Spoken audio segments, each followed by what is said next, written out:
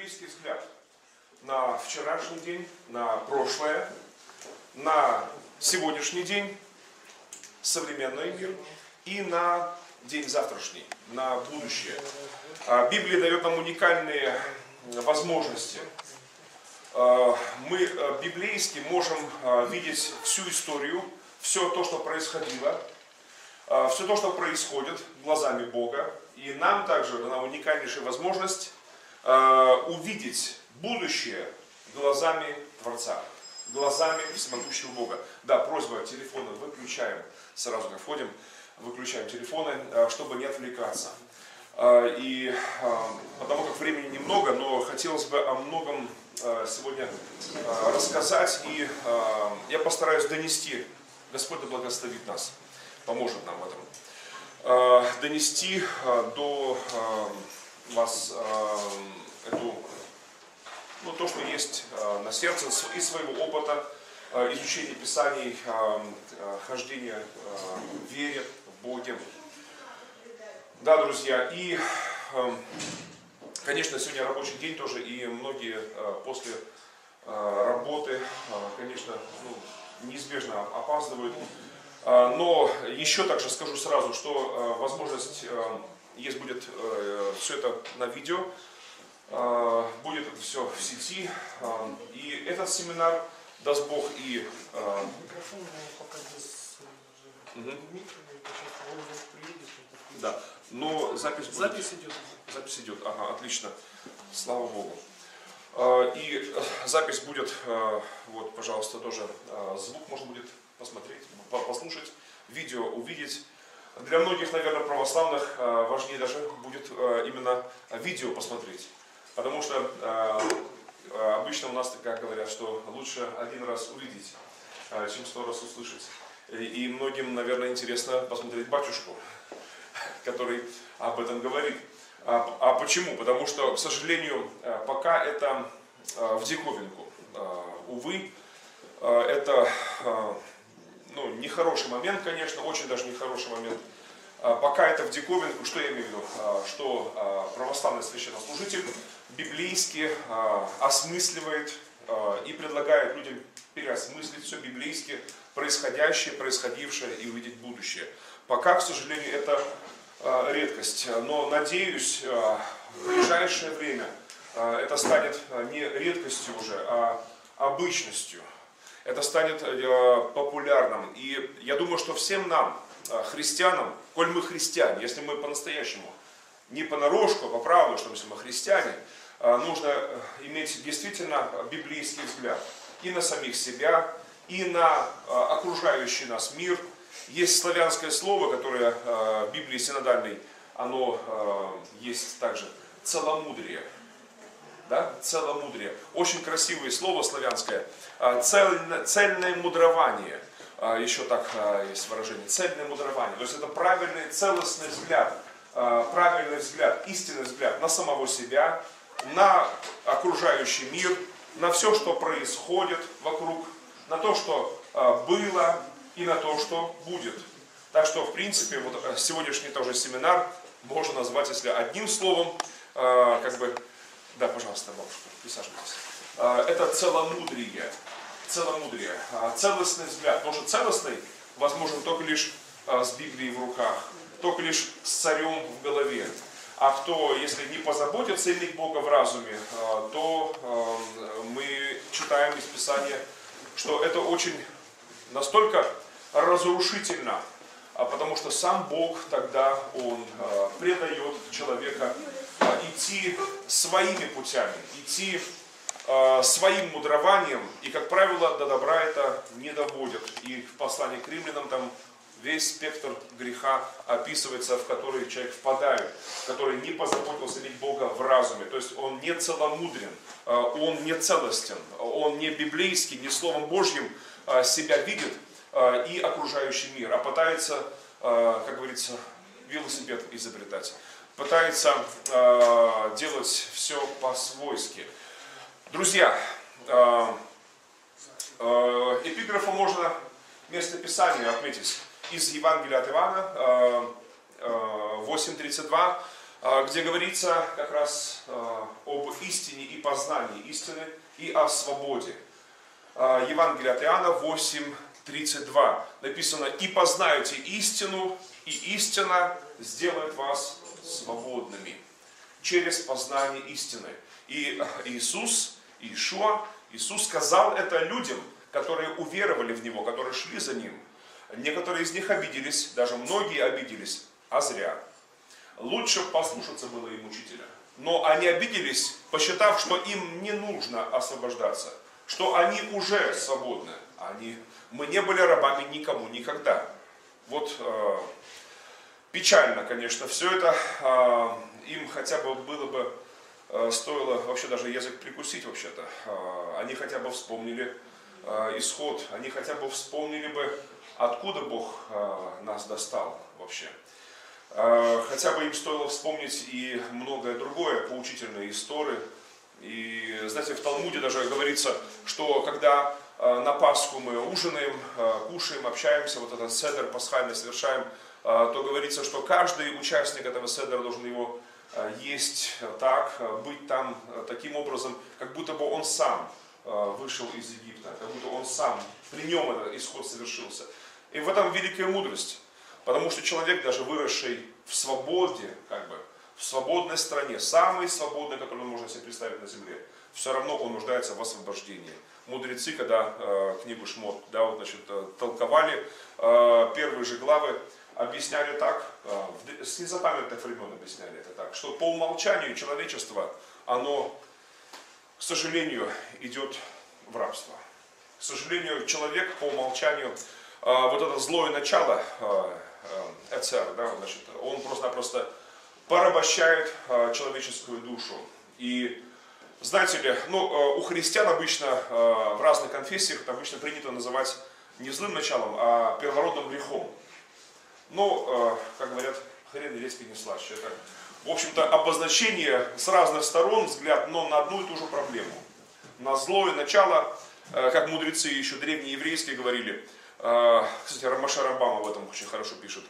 Что, что змея, беседовавшая с женщиной, это одна проблема. Как бы. Ну, я так вольно перевожу, привожу. Но змея, которая внутри уже этой женщины, это уже другая проблема совсем. Вот, одно дело, когда э, грех беседовал с женщиной, но другое дело, когда уже поселился внутри. Вот на свою беду пригрела наша проматерь э, змею на сердце. Вот, и знаете ли, вот э, человечество э, все эти тысячелетия, э, знаете ли, э, с этим змеем э, в таком э, вечной вражде, непримиримой вражде. И слава Богу, что в этой огромнейшей войне, знаете ли, э, в этой войне с самим собой, с этим злым началом, с этим грехом, да, э, с сатаной, э, есть поворотный момент истории – Голговский крест Иисуса Христа. Там, где Мессия Иешуа пролил свою божественную святую кровь. Это совершилось два тысячелетия тому назад, и это сделало величайший переворот всех времен и народов. Это на самом деле стало точкой величайшей победы. И победы всех побед. И поэтому, друзья, ну что, Христос воскрес, Воистину воскрес. И это, это правда. То есть воистину, то есть а, на самом деле истина, а, Он воскрес, Он победитель. А, и если мы смотрим на прошлое человечества, то, конечно, самое памятное и самое великое, что происходило, это Голговский крест. И когда на кресте Мессия умирал, он воскликнул одно из его слов – было следующее, совершилось. И проповедники очень многих конфессий а, потом как бы продолжают эту мысль и говорят, совершилось искупление рода человеческого, совершилось наше спасение, совершилось наше исцеление, наше освобождение, совершилась величайшая победа всех побед. И с того дня а, даже в храме, даже храм, ну мы знаем, что гробы, раскры, гробы раскрылись, мертвецы восстали многие, вошли в Святой Град. Вообще э, события произошли, даже люди далекие от, э, может быть, ну, истины, очень сильно далекие от религии истины, а, как, допустим, тот самый сотник, да, воскликнул, а, семь человек.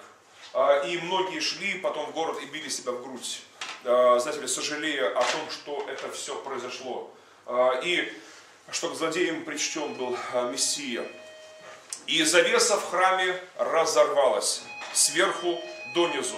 Завеса разорвалась. И хотя священники сделали ну, такой грех, страшный грех, зашили эту завесу и списали все на несчастный случай, на то, как будто бы это, знаете ли, вот совпадение совпало. Говорят, прыщ не скочит просто так. Уж тем более событие такое, что там толстенная завеса, огромная завеса, да. Это не просто тебе занавесочка, знаете ли, жалюзи какие-то такие тоненькие. Не, не, это именно завеса, толстенная завеса. Она была разорвана всемогущим Богом сверху донизу. И вот, я не знаю, я очень люблю а, мюзикл, а, старый мюзикл Алексея Ледяева «Разорванная завеса». И там слова, вот эти, эта песня потрясающая, да? «Я не хочу жить за завесой, за стеною глухой, мое сердце с тобой, мой сын дорогой. Я для тебя не чужой и не очень, я добрый отец, я Ава очень родной». Я не помню всех слов, но а, каждый раз, когда слушаю эту песню, просто ну, умиляюсь и благодарю Бога вот за вот это чудо, которое Он совершил, разорвав завесу как свою одежду. Да, образ библейский.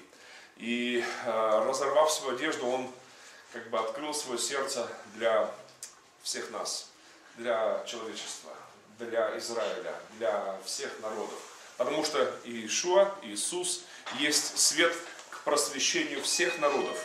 И Он есть слава народа своего Израиля.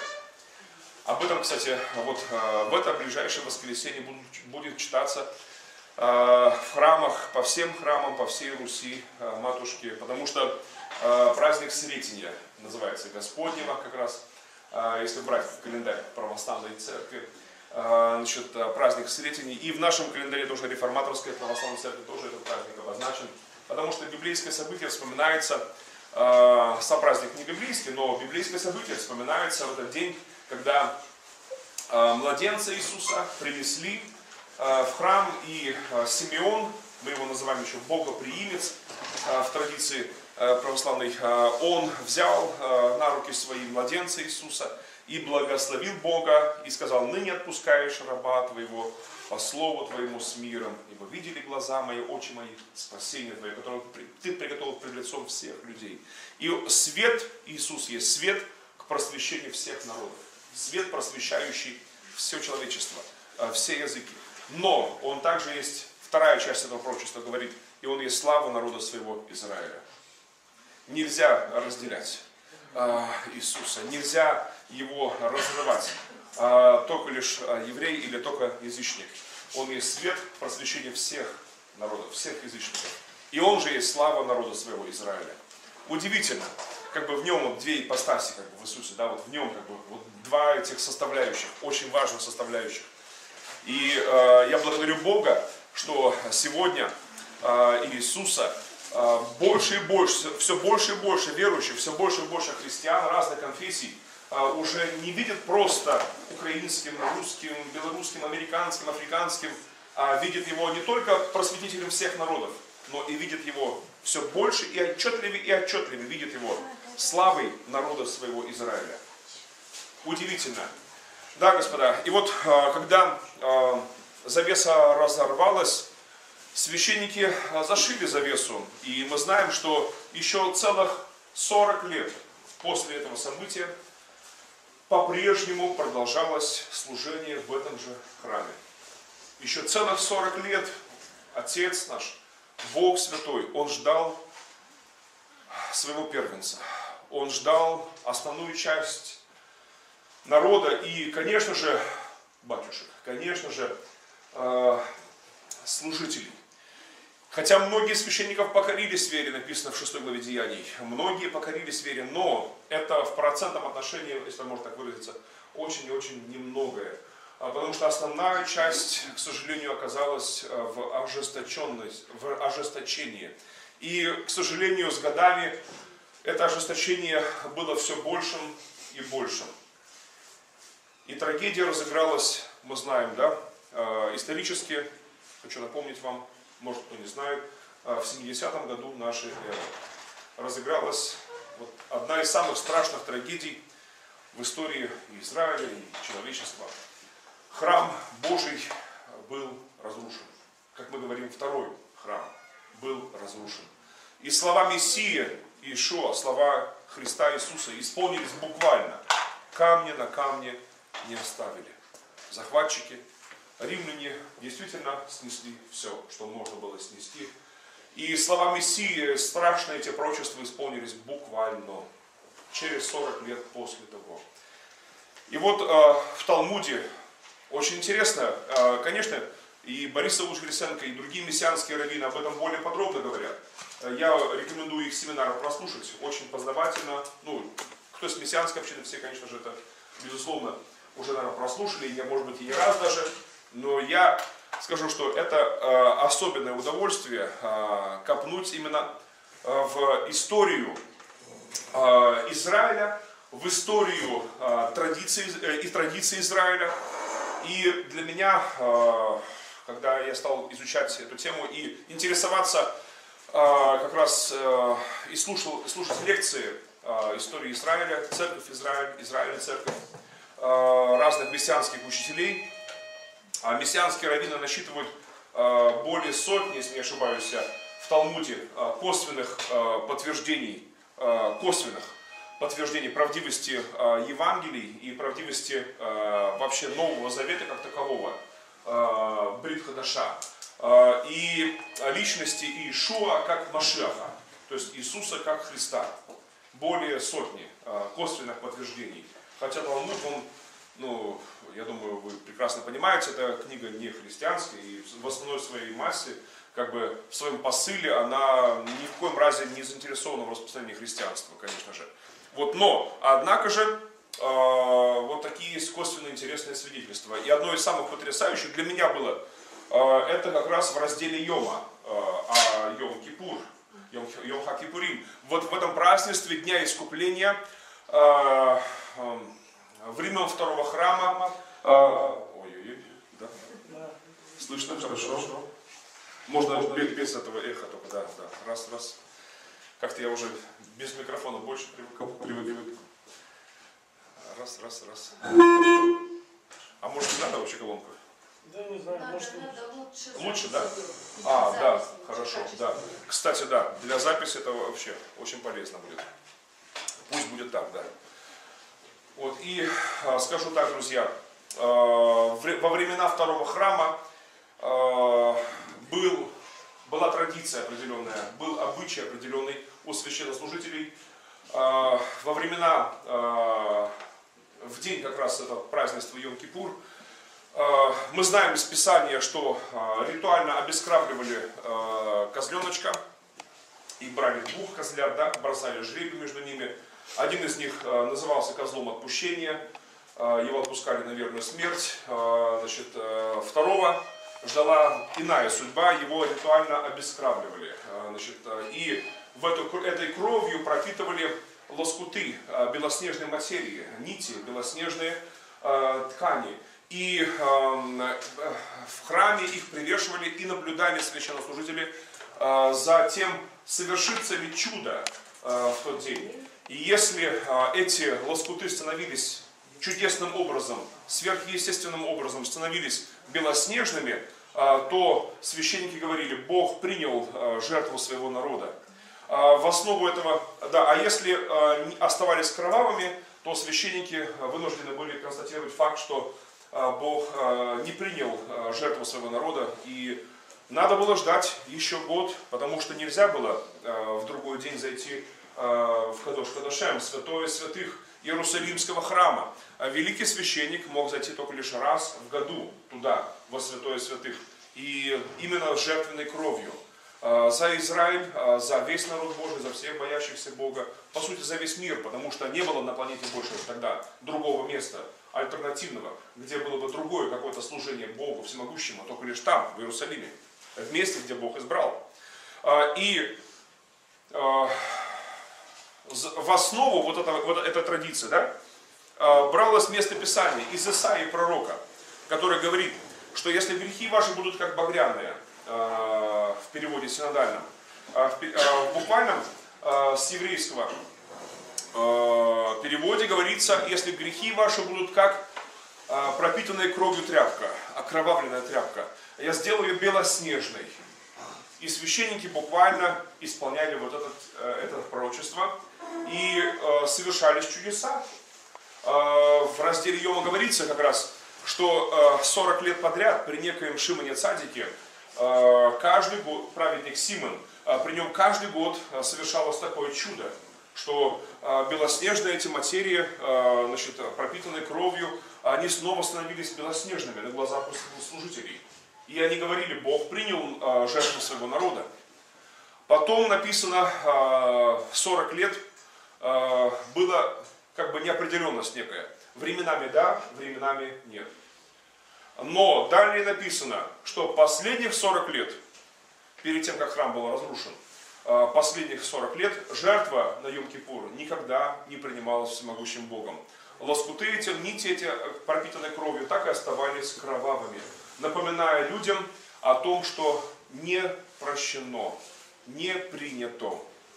Это было очень и очень плохим знаком, конечно, для служителей. Больше того, а, был целый ряд других знамений, о которых мессианские учители а, тоже часто вспоминают в своих лекциях. Я упомяну лишь некоторые из них.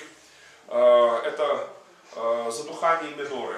Это очень дурной знак, знаете ли, потому что горящая минора собой, мы знаем, символизирует свет всемогущего Бога в храме, присутствие Его означает, мы знаем, что из Нового Завета однозначно, что это символ Машеха, символ Христа, потому что Он есть свет, просвещающий всякого человека, и Он есть сам, Он сказал, я свет миру, Поэтому минора, горящая в храме, она означала самого Машеха, самого Христа, Мессию. А, и представьте, друзья, что происходило. Минора затухала, сверхъестественно затухала во время служений. На Хануку мы вспоминаем с вами на праздник обновления, как в Новом Завете о нем говорится, а, в 10 главе, да, Иоанна. 10.22, да. А, Ивана 10.22 говорится о празднике обновления. Это Ханука, праздник Ханука. На Хануку мы вспоминаем с вами чудо, сверхъестественное горение – Э, миноры. Сверхъестественное э, вот это событие, когда э, Маковеи, Макаби, да, они, их руками совершилось великое обновление храма. Потому что вот так и называется праздник обновления, да?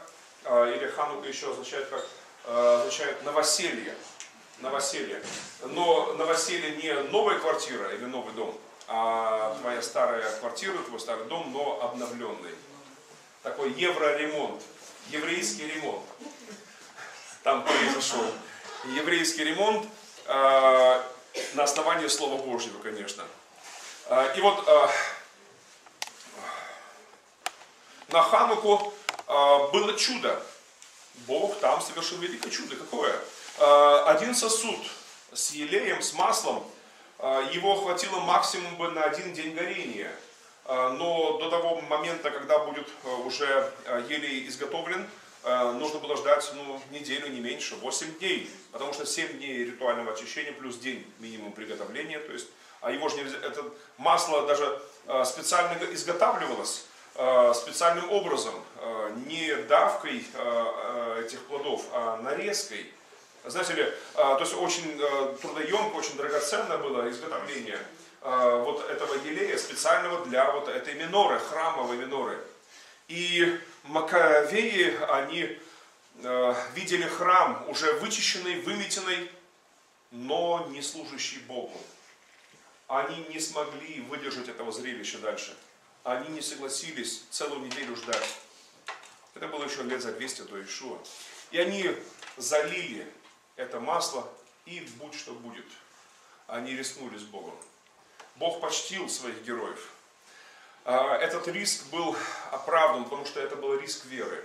Они это сделали по любви.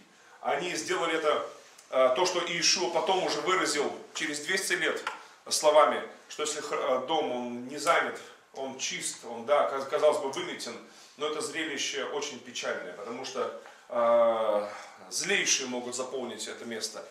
А, самое страшное зрелище это храм, который не служит Богу. Да, друзья, я вот э, маленько отступлю, хочу вспомнить, знаете, э, в, в советское время, э, когда можно было много храмов увидеть, э, ну, православных, виду, храмов увидеть э, заброшенных, там, зернохранилища, овощехранилища всякие. И знаете, э, многие из них были в очень печальном состоянии. Вот в Орловской области, где тогда, тогда посещал храм, служил в храме, начинал служить в храме, это были 80-е годы. И знаете, друзья, да, конечно, в Болхове, там город такой Болхов есть, в Орловской области, туда приезжал, там красивейший собор, такие храмы большие, но там отхожее место просто было. Люди ходили туда в туалет, там все было загажено. Горожане относились к этому очень, знаете, так наплевательски. Вот, и э, тяжело это было все видеть, конечно, но еще худшим было, знаете, для меня зрелищем э, в Ленинграде. Э, вот не поверите, наверное, но для меня это было большим даже, еще э, злом, еще худшим даже было. Э, прямо на Невском проспекте, э, прямо в центре Ленинграда, значит, Казанский собор, бывший, сейчас уже снова действующий, тогда там был музей атеизма, музей религии и атеизма. И этот храм, он выметен, вычищен, все там блестело, не было пыли, следили за этим храмом, но он был осквернен больше, нежели вот тот красавец собор в Болхове, который превращен был в отхожее место и в помойку. Вот знаете, Маковеи поняли тоже кое-что. Они поняли, что мало просто вычистить храм, мало его просто вот его обновить как бы вот таким внешним образом. Он должен служить Богу. Без этого служения храм это ноль без палочки. Это ничто вне этого служения. Как, допустим, верующий да, а, человек, если он не служит Богу, это несчастнейшее создание. А, потому что а, он, Бог создал нас, возродил нас для цели определенной, для служения Ему. Из Египта Он вывел Сына Своего для первенства для чего? Для служения. Не просто сделать прогулку по пустыне, не просто дальше дать им землю новую, нет, для служения. И Он спас а, сегодня тебя и меня для служения. И самое печальное зрелище на планете это человек верующий, а, спасенный а, Богом, вызванный из духовного Египта, но не служащий Ему. И вот, но вернусь снова к теме. Что еще в храме происходило? Вот по поводу миноры задухающей на празднество, это очень был плохой знак, очень-очень плохой.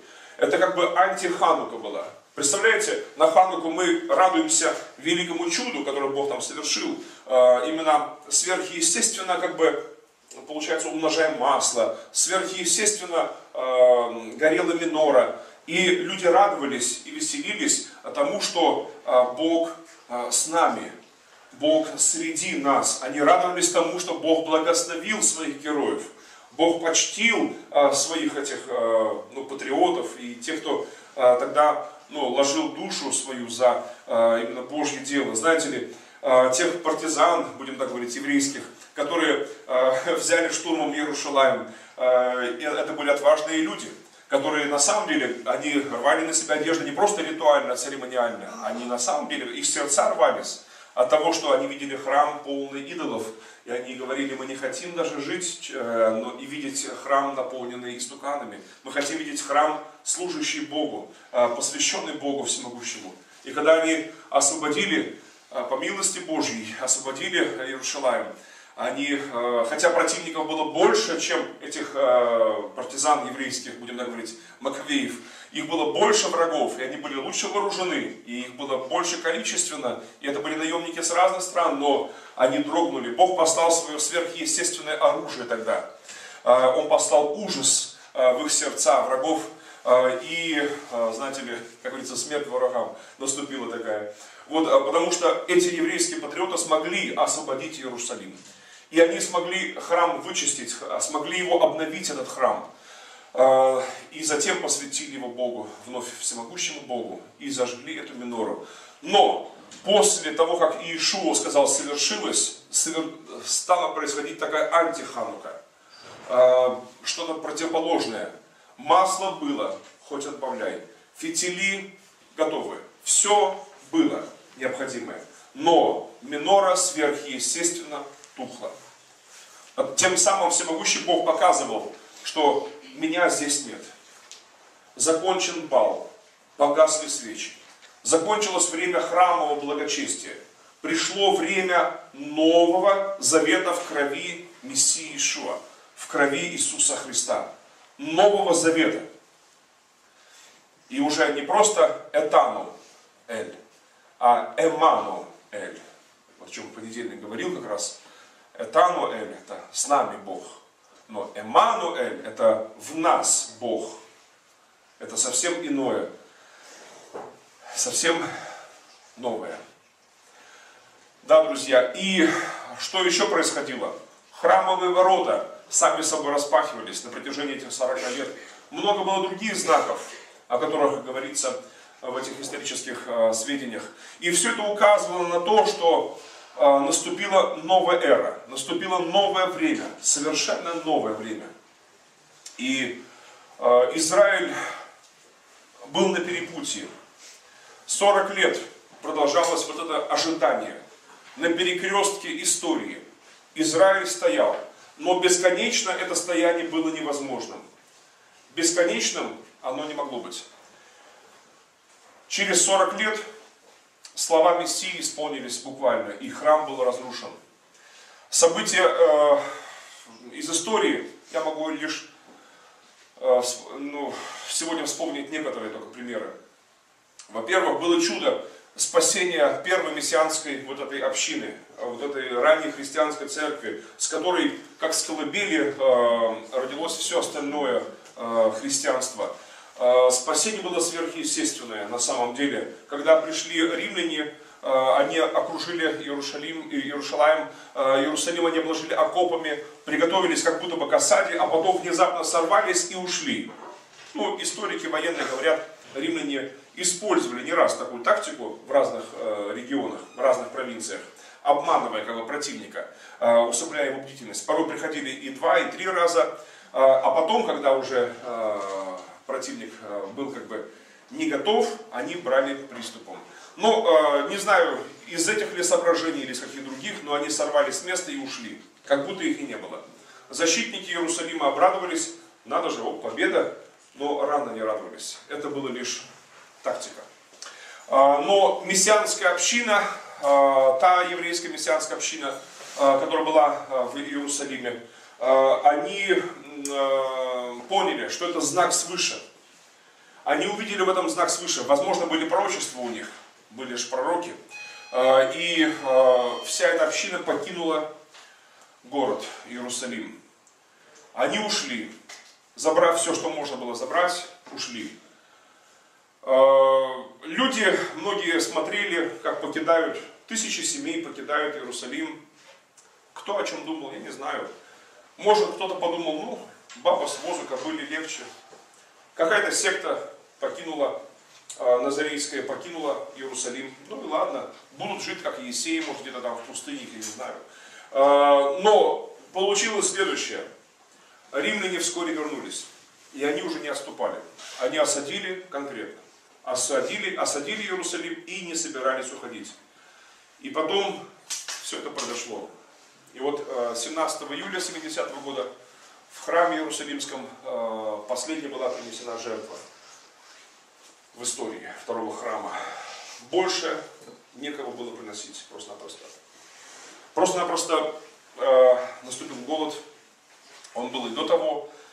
Э, летом 70-го года разыгралась страшная трагедия.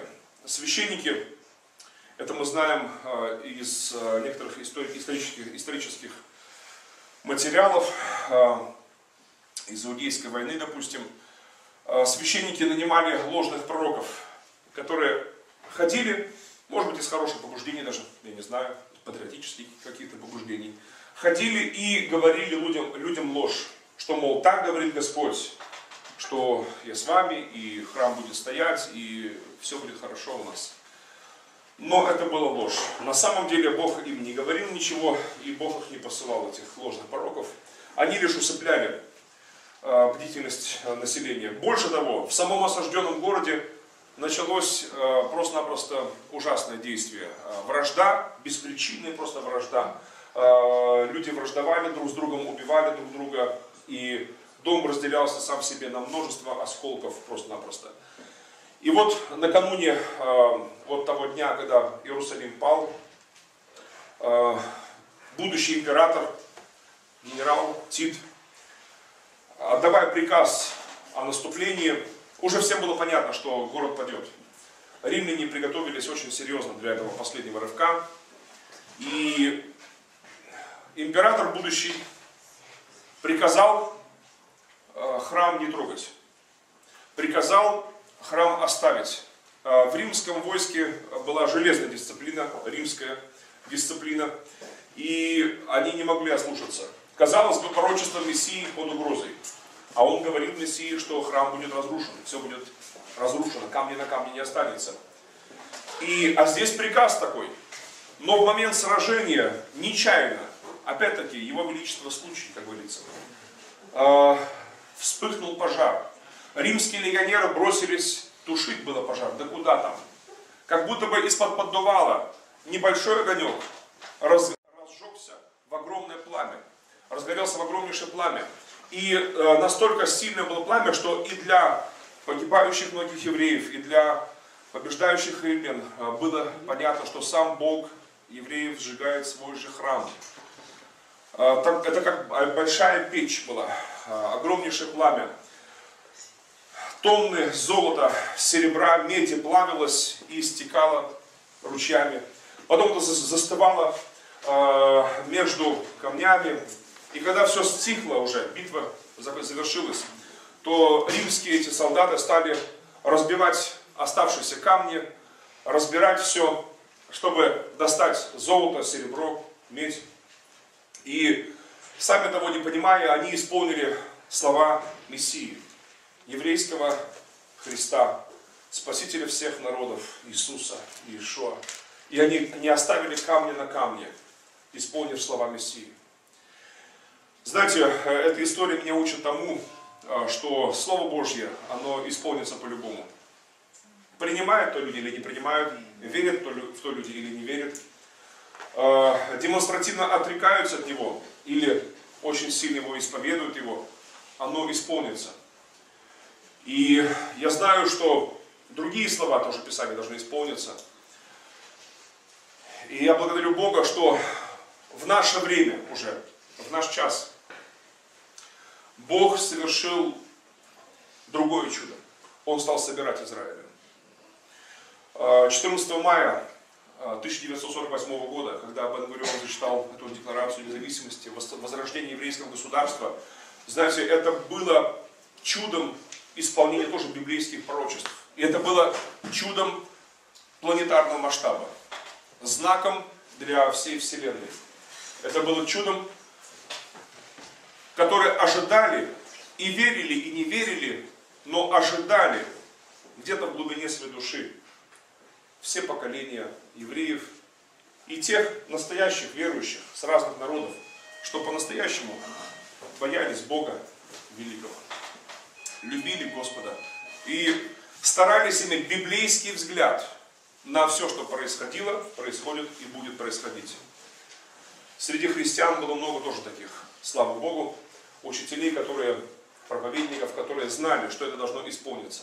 Даже тогда, когда в самом Израиле среди евреев рассеяния эта вера угасала, э, и очень серьезно угасала, допустим, в 18 столетии, в 19 столетии, э, среди многих э, евангельски мыслящих, верящих, библейски мыслящих христиан, маравских братьев, допустим, можно вспомнить, разрасталась вера в то, и они укрепляли эту веру и они это говорили людям, что будет возрождение Израиля.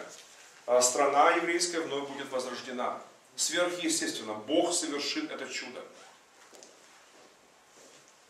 И дождались. сердце не угаснет священный огонь, будет стремиться еврейская душа. Будет стремиться к востоку на Сион, в землю отцов, что Бог нам обещал. Нам надежда освещает путь, мы две тысячи лет ее храним, будем снова народом и свободным на сегодня Иерусалиме. Аминь. Эта песня как молитва звучит и звучала. И действительно, слава Богу, слава Богу. И, э, э, и самые страшные пророчества Библии исполнялись и исполняются, и исполнятся. И самые прекрасные пророчества Библии. Они исполнялись, исполняются и будут исполняться. И сегодня мы живем в то время, когда исполняются ну, одни из самых страшных, с одной стороны, пророчеств о, о войнах. А, мы знаем, а, да, и эти войны, они всегда были, конечно, начиная с Каина, который пролил кровь брата своего, Авеля. А, войны всегда были, знаете ли, к сожалению, зловещий такой, зловещим фоном истории человечества. Но никогда не было вот столько их и такого качества, как вот в наш, наше время.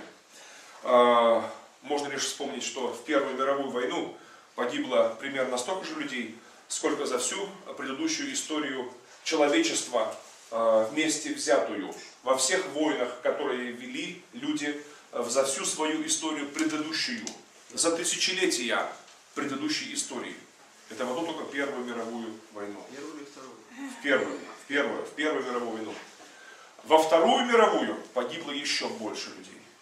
Больше, чем в Первую и все предыдущие вместе взятые. Слушайте, это не кошмар ли это? Да, это ужас, это страшно. И это исполнение пророчеств, страшных пророчеств. Уже войны не могут называться там англо-бурскими или франко-прусскими или какими-то еще. Они уже мировыми именуются. Мировыми. Это ли не ужас, друзья? Но при всем при этом мы должны знать, что и это Господь говорил. И это Он указывал, открывал нам. О землетрясениях. Их всегда было огромное количество, казалось бы, да, но не так.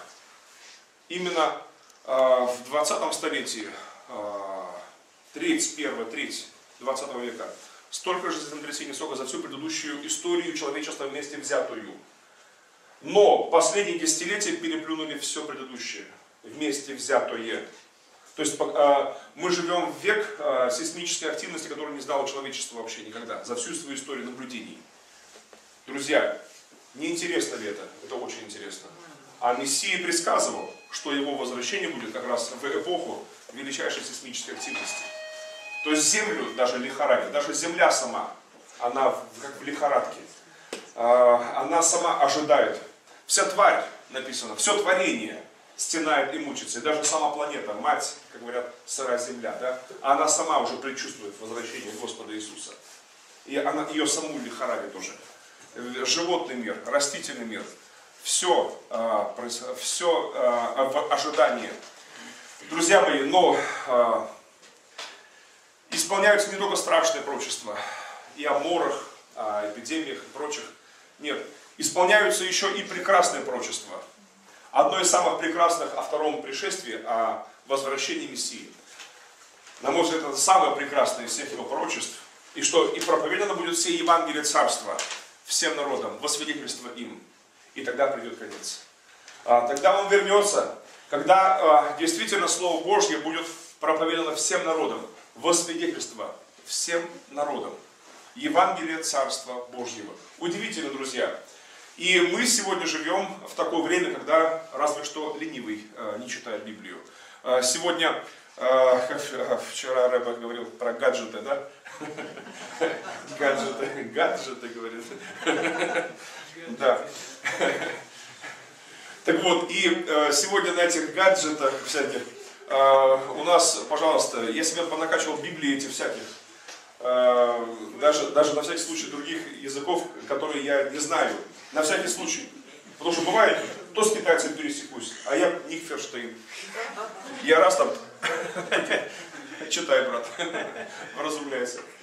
Значит, пожалуйста, значит, на разных других языках, пожалуйста, слушай, смотри, читай, не хочу, пожалуйста. Сегодня в такое время живем, когда, знаете ли, космические корабли бороздят просторы Вселенной. И сегодня это не просто бороздение Вселенной, сегодня это во славу Господа, сегодня это во славу Божью. Да, люди, конечно, имеют в виду свою славу, имеют в виду свои достижения, как, допустим, те римляне, которые строили эти величайшую сеть дорог, они удивили весь древний мир э, своим строительством. Знаете ли, они были фанатами прекрасных дорог. Они строили прекрасные дороги. Э, значит, э, но сегодня все историки, даже неверующие, признают, что эти дороги послужили колесами Евангелия. И благодаря этим дорогам, сегодня даже неверующие историки признают это, что христианство в первом же поколении распространилось до края Айкумены, обитаемой вселенной. А, до края цивилизации, цивилизованного мира. И глобализация римская, они горделиво говорили, а, все дороги ведут в Рим. А, знаете ли, они не предполагали, наверное, что для кого они строят эти дороги. Для того, кто родился в скромном местечке таком, в Вифлееме иудейском, для того, кто рос потом в Назарете, для того, кто был распят при Понтии Пилате, к злодеям причтен, хотя был похоронен у богатого, для того, кто воскрес, хотя злые языки говорили, что якобы ученики пришли тайно похитили, но того, для того, кто действительно есть Господь всех. А, и благодаря этому а, этапу глобализации, тогда самому мощному этапу глобализации, а, произошло глобальное распространение Слова Божьего, глобальное распространение Евангелия Христова. Это удивительно. Вспомним другой этап глобализации, величайший тоже. Вспомним самую величайшую империю из всех времен и народов, Британскую империю, Великую Британскую империю. Она существовала э, самое большое э, по протяжении, по, по, по времени своему существования, э, также самое непревзойденное по э, площади своей. Э, британцы говорили, что солнце никогда не заходит над землей ее величества. Потому что в каждом а, часовом поясе а, были а, британские владения. Представьте себе, Великая Британская империя, не имеющая ни до того, ни после того, не имеющая ничего, ни себе равных. Казалось бы, да, британцы создали действительно величайшую империю всех времен и народов. Огромнейшая страна, огромнейшие земли, огромнейшие империи. Английский язык, он стал языком родным для неожиданно огромнейшего количества людей, а, и для многих стран и народов это стал первый или второй язык, или, ну, по крайней мере, сегодня мы можем а, в любом городе, фактически любой страны мира, а, найти собеседника на английском языке. Вот знаете ли, и британцы гордились по праву своей империи. Но знаете ли, они, не подруз... наверное, многие из них даже и не понимали, что этот этап глобализации, он послужит величайшей на тот момент самой великой проповеди евангельского слова, Божьего слова в истории человечества. Потому что как раз благодаря как раз британскому вот этому, э, этому распространению миссионеры не только э, э, были колонисты, но были миссионеры, которые прошли по всей планете и не раз прошли с проповедью Слова Божьего. И многие народы, многие племена смогли услышать Слово Господне. И поэтому этот этап глобализации стал величайшим триумфом Иисуса Христа, которого не знал э, предыдущая история а, церкви. Но сегодняшний этап уже если можно, ну, можно выразиться, третий этап уже глобализации, еще больше гораздо, конечно, она римлянам даже не снилась, и Великобритании даже она не снилась, это э, глобализация нынешняя, но я глубоко убежден, что она послужит к, э, есть такое красивое слово славянское, к вящей славе Господа Иисуса Христа. То есть к самой великой славе последних дней. Э, потому что действительно этот этап глобализации принесет, даст, даст возможность церкви, христианству, э, рабам Божьим принести Слово Господне по всей вселенной, по всей земле, планетарного масштаба пробуждения. Не просто э, континентального даже, а планетарного масштаба. Я в предвкушении этого огромного действия. Слава Богу, да, друзья. Поэтому э, некоторые там христиане подуныли было, что вот там масоны, там прочие иллюминаты правят там и глобализацию правят. Расслабьтесь, друзья.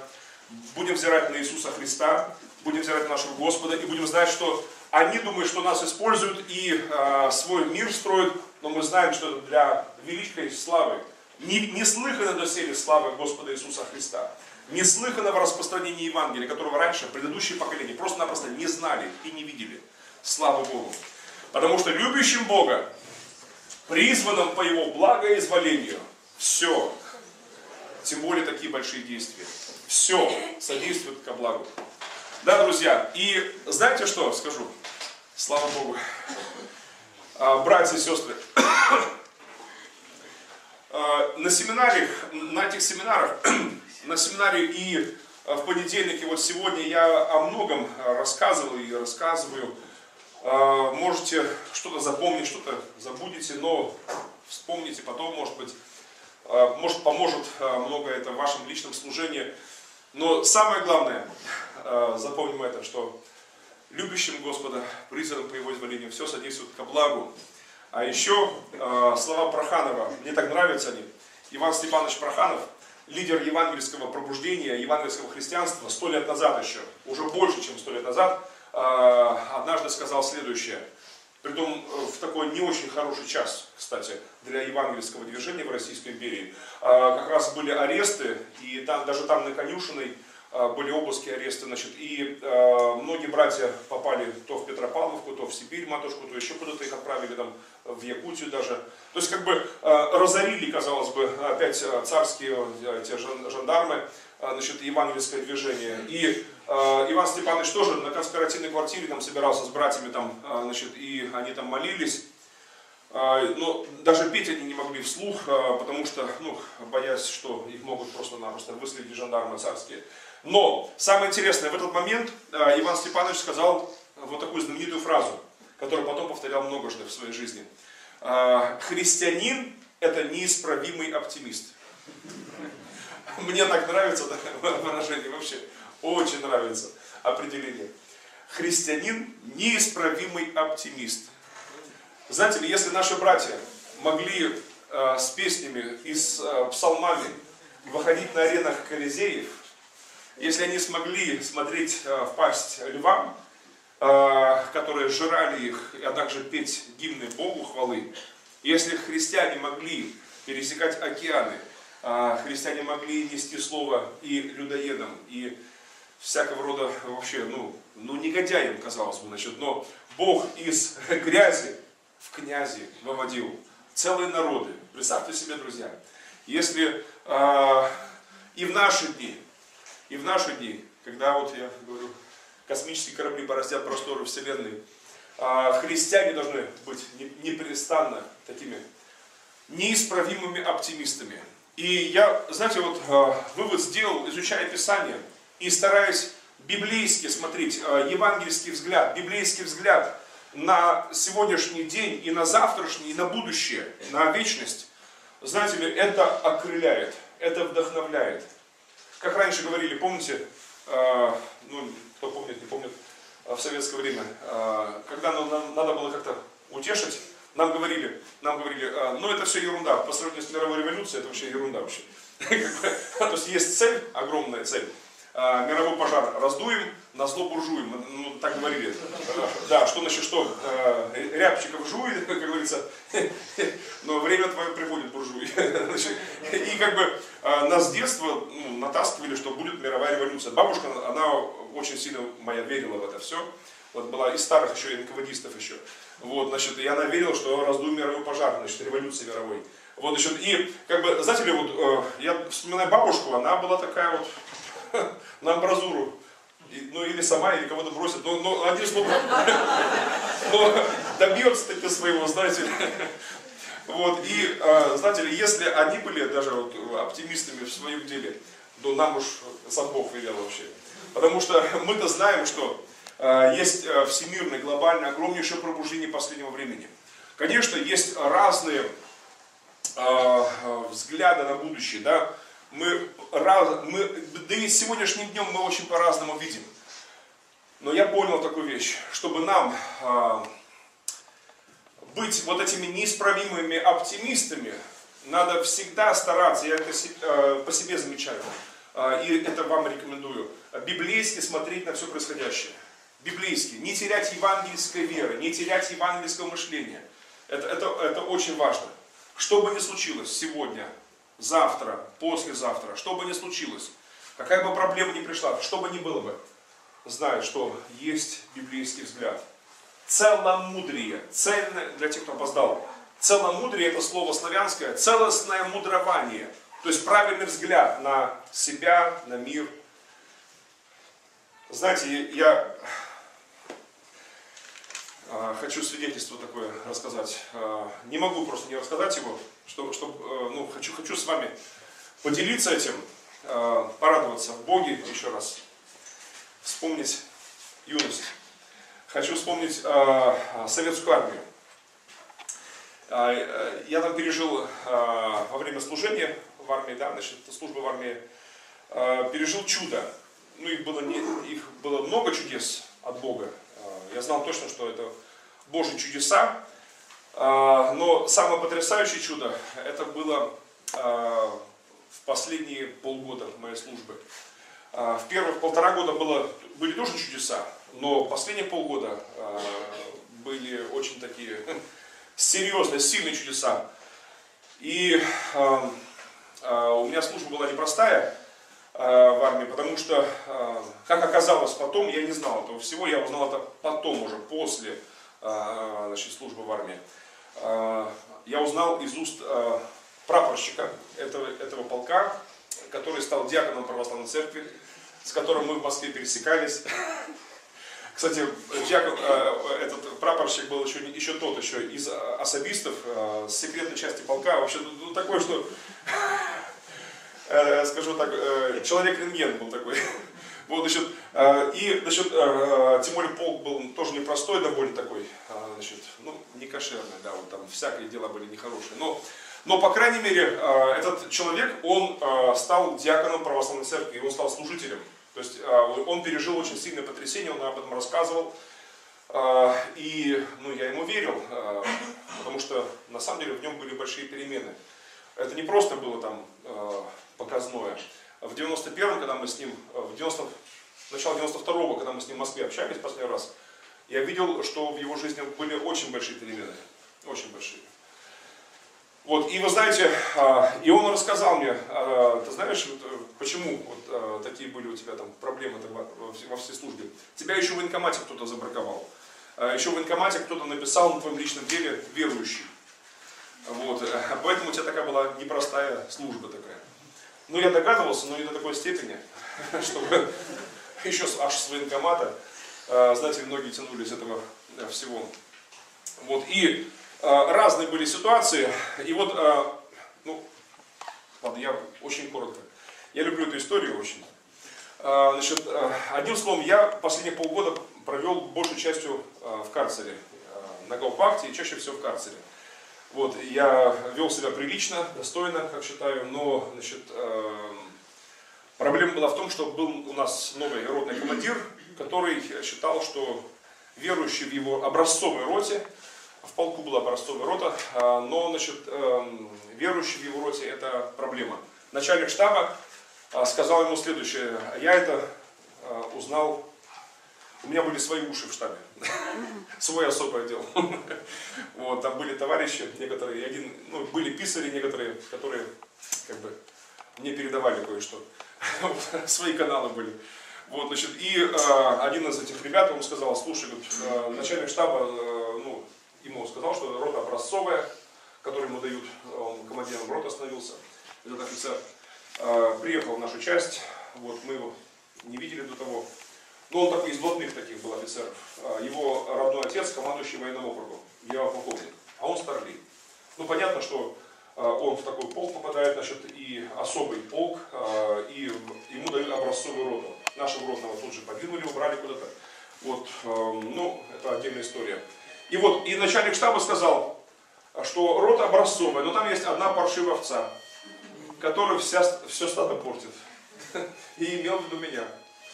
И представьте, я сразу заподозрил что-то неладное, потому что когда он в расположение рота пришел, первое, что он э, прямо от тумбочки, мы, построение прямо в расположении роты, взводные стоят офицеры, там, прапорщики, все а, я просто солдат, даже не ефрейтор, ничего, рядовой. И представьте, он прямо с тумбочки кричит, Журавлев, ко мне. Аж все переглянулись. Откуда он тебя знает вообще? Я когда подошел к нему, ну, лихо так, как бы, значит, там, э, чуть, как, как, как с этим видом, как нас, придурковатый. Придурковатый слегка. Лихой, да. Но когда он на меня посмотрел, я понял, у меня проблемы будут впереди большие. И вот э, так получилось, что по любому поводу, без повода, меня, значит, на гауптвахту, э, и коса на камень, знаете ли, нашла вот. Э, и вот он хотел меня убить даже, ну, как бы, всего не расскажу сейчас даже, просто по времени, но Бог сохранял мою жизнь. Э, пару раз вот даже было конкретное сохранение моей жизни я с полигона возвращался живым, хотя не должен был возвращаться живым. Вот, и э, потом, последний раз на Гаупахту, когда посадили в карцер, и меня оттуда не выпускали полтора месяца. Вот те, кто знает, что такое карцер, те понимают, что это очень непросто выжить в таких условиях, э, значит, не кушать ничего фактически. Вот, значит, э, первые дни вообще ничего не было. Потом стали что-то давать нам, э, не пить почти ничего, э, в каменном цементном мешке, а, значит, лишь раз в сутки там видишь свет Божий, ну не Божий, вернее, а электрический, значит, а Божий так чуть-чуть, как вот из окошечка там, как полумрак такой. Значит, то есть это как грузовой лифт, цементный мешок, застрявший, и плюс еще это хлорка, значит, воняет. Вот там некоторым друзьям бы меня сделали там этот, у нас называли это в нашем, на нашей гауптвахте называли это аквариумом там 2-3 ведра воды наливают на пол и совок хлорки, и закрывают. А, ну представьте, да, что такое там, потом вот с такой мордой там ребят доставали, значит, уже без сознания уже, вот, а, все распухало, все, они там кровью харкали, потом, значит, там все. Значит, э, и, а, ну, как бы были другие методики издевательств были, а, отбивали все, там, печень, почки, все отбивали. Вот, значит, э, и были случаи там, ну, правда, я не был свидетелем, но мне рассказали, что там повесили парня одного, списали на самоубийство, просто его там забили и повесили. Вот, значит, э, ну, по-разному, то есть э, там были офицеры нормальные, а были с приступами садизма, которые любили издеваться. Вот, и вот там вот, э, у нас была очень жесткая гауптвахта, очень жесткая. Даже Кантемировская отдыхает, там, Стаманская. Вот, они у нас когда были офицеры, они что ну, даже, там, даже там такого не позволяли, что было в нашем э, при курсах выстрела, высших офицерских курсах. И там больше полковников было, чем рядовых. Поэтому и там были э, некоторые офицеры, которые любили издеваться так, что как бы, ну, это просто страшно. Вот, и, э, значит, э, всякое было, но Бог сохранил мою душу там. Э, полтора месяца не спать, не есть почти ничего, значит, не пить, мы очень мало пить, там полкружки наливали такой жиши такой. Вот, значит, и на холоде постоянном, значит, без никакой мебели, понятно, это карцер, просто цементный мешок.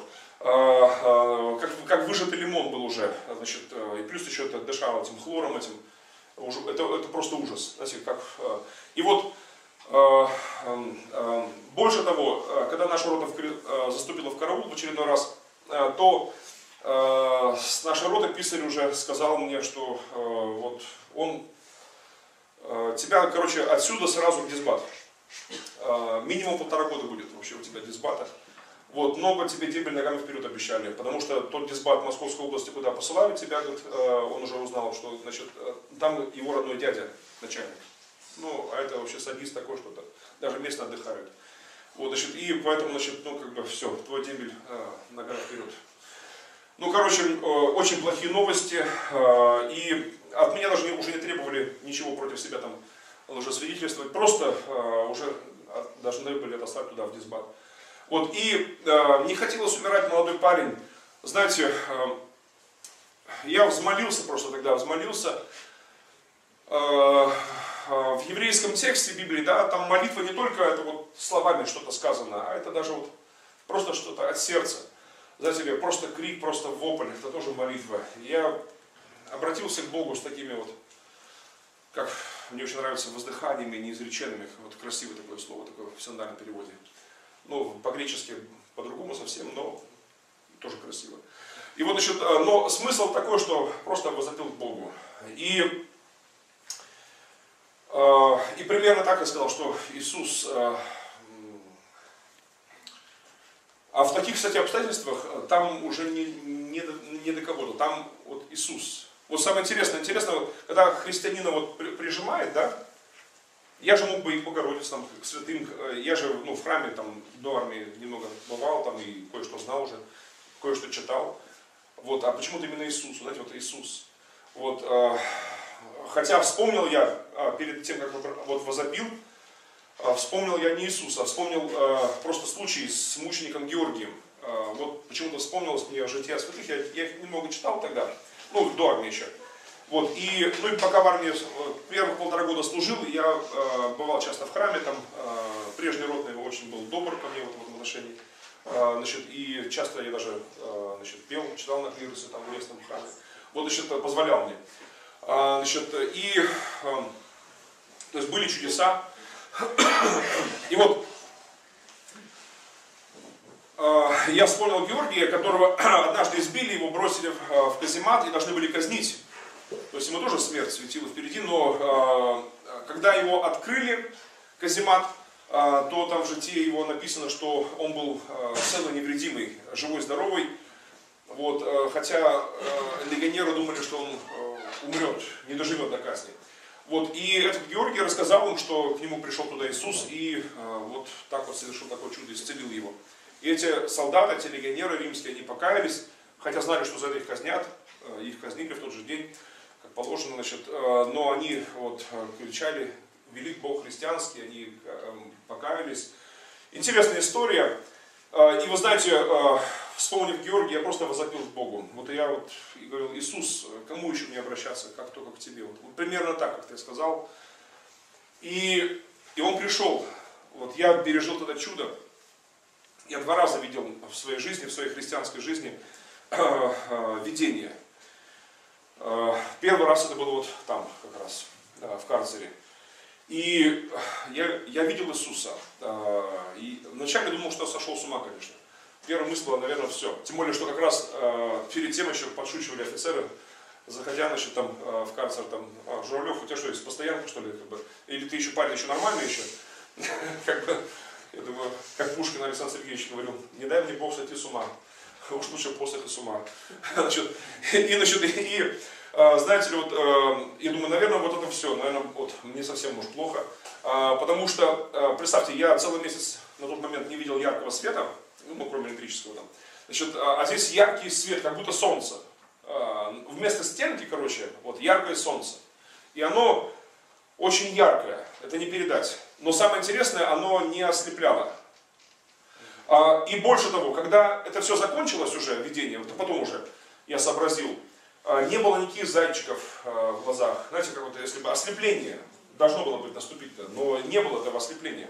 Э, и этот свет, он меня согрел. Представьте, что такое целый месяц трястись на холоде, только лишь одно только согревалось, начинаешь немного приседать, отжиматься, что-то, чтобы кровь разогрелась как-то. А здесь, как будто в микроволновку какую-то попал, знаете, такую. Э, изнутри я был теплым. Изнутри. И еще две недели я оставался, кстати, там, в карцере, и две недели я был теплым. Когда оттуда уходил уже, а вот, а, я был теплым. И не, не температурная какая-то, э, значит, э, вот, не болезненная какая-то, а теплость такая, нормальная теплость.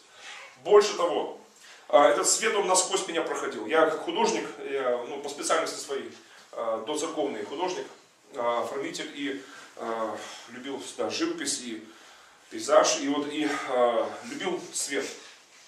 Всегда любил свет. И вот, что интересно, а, этот свет, он не, оставал, не оставлял ни полутонов, ни а, теней, он, он просто вот насквозь как будто бы.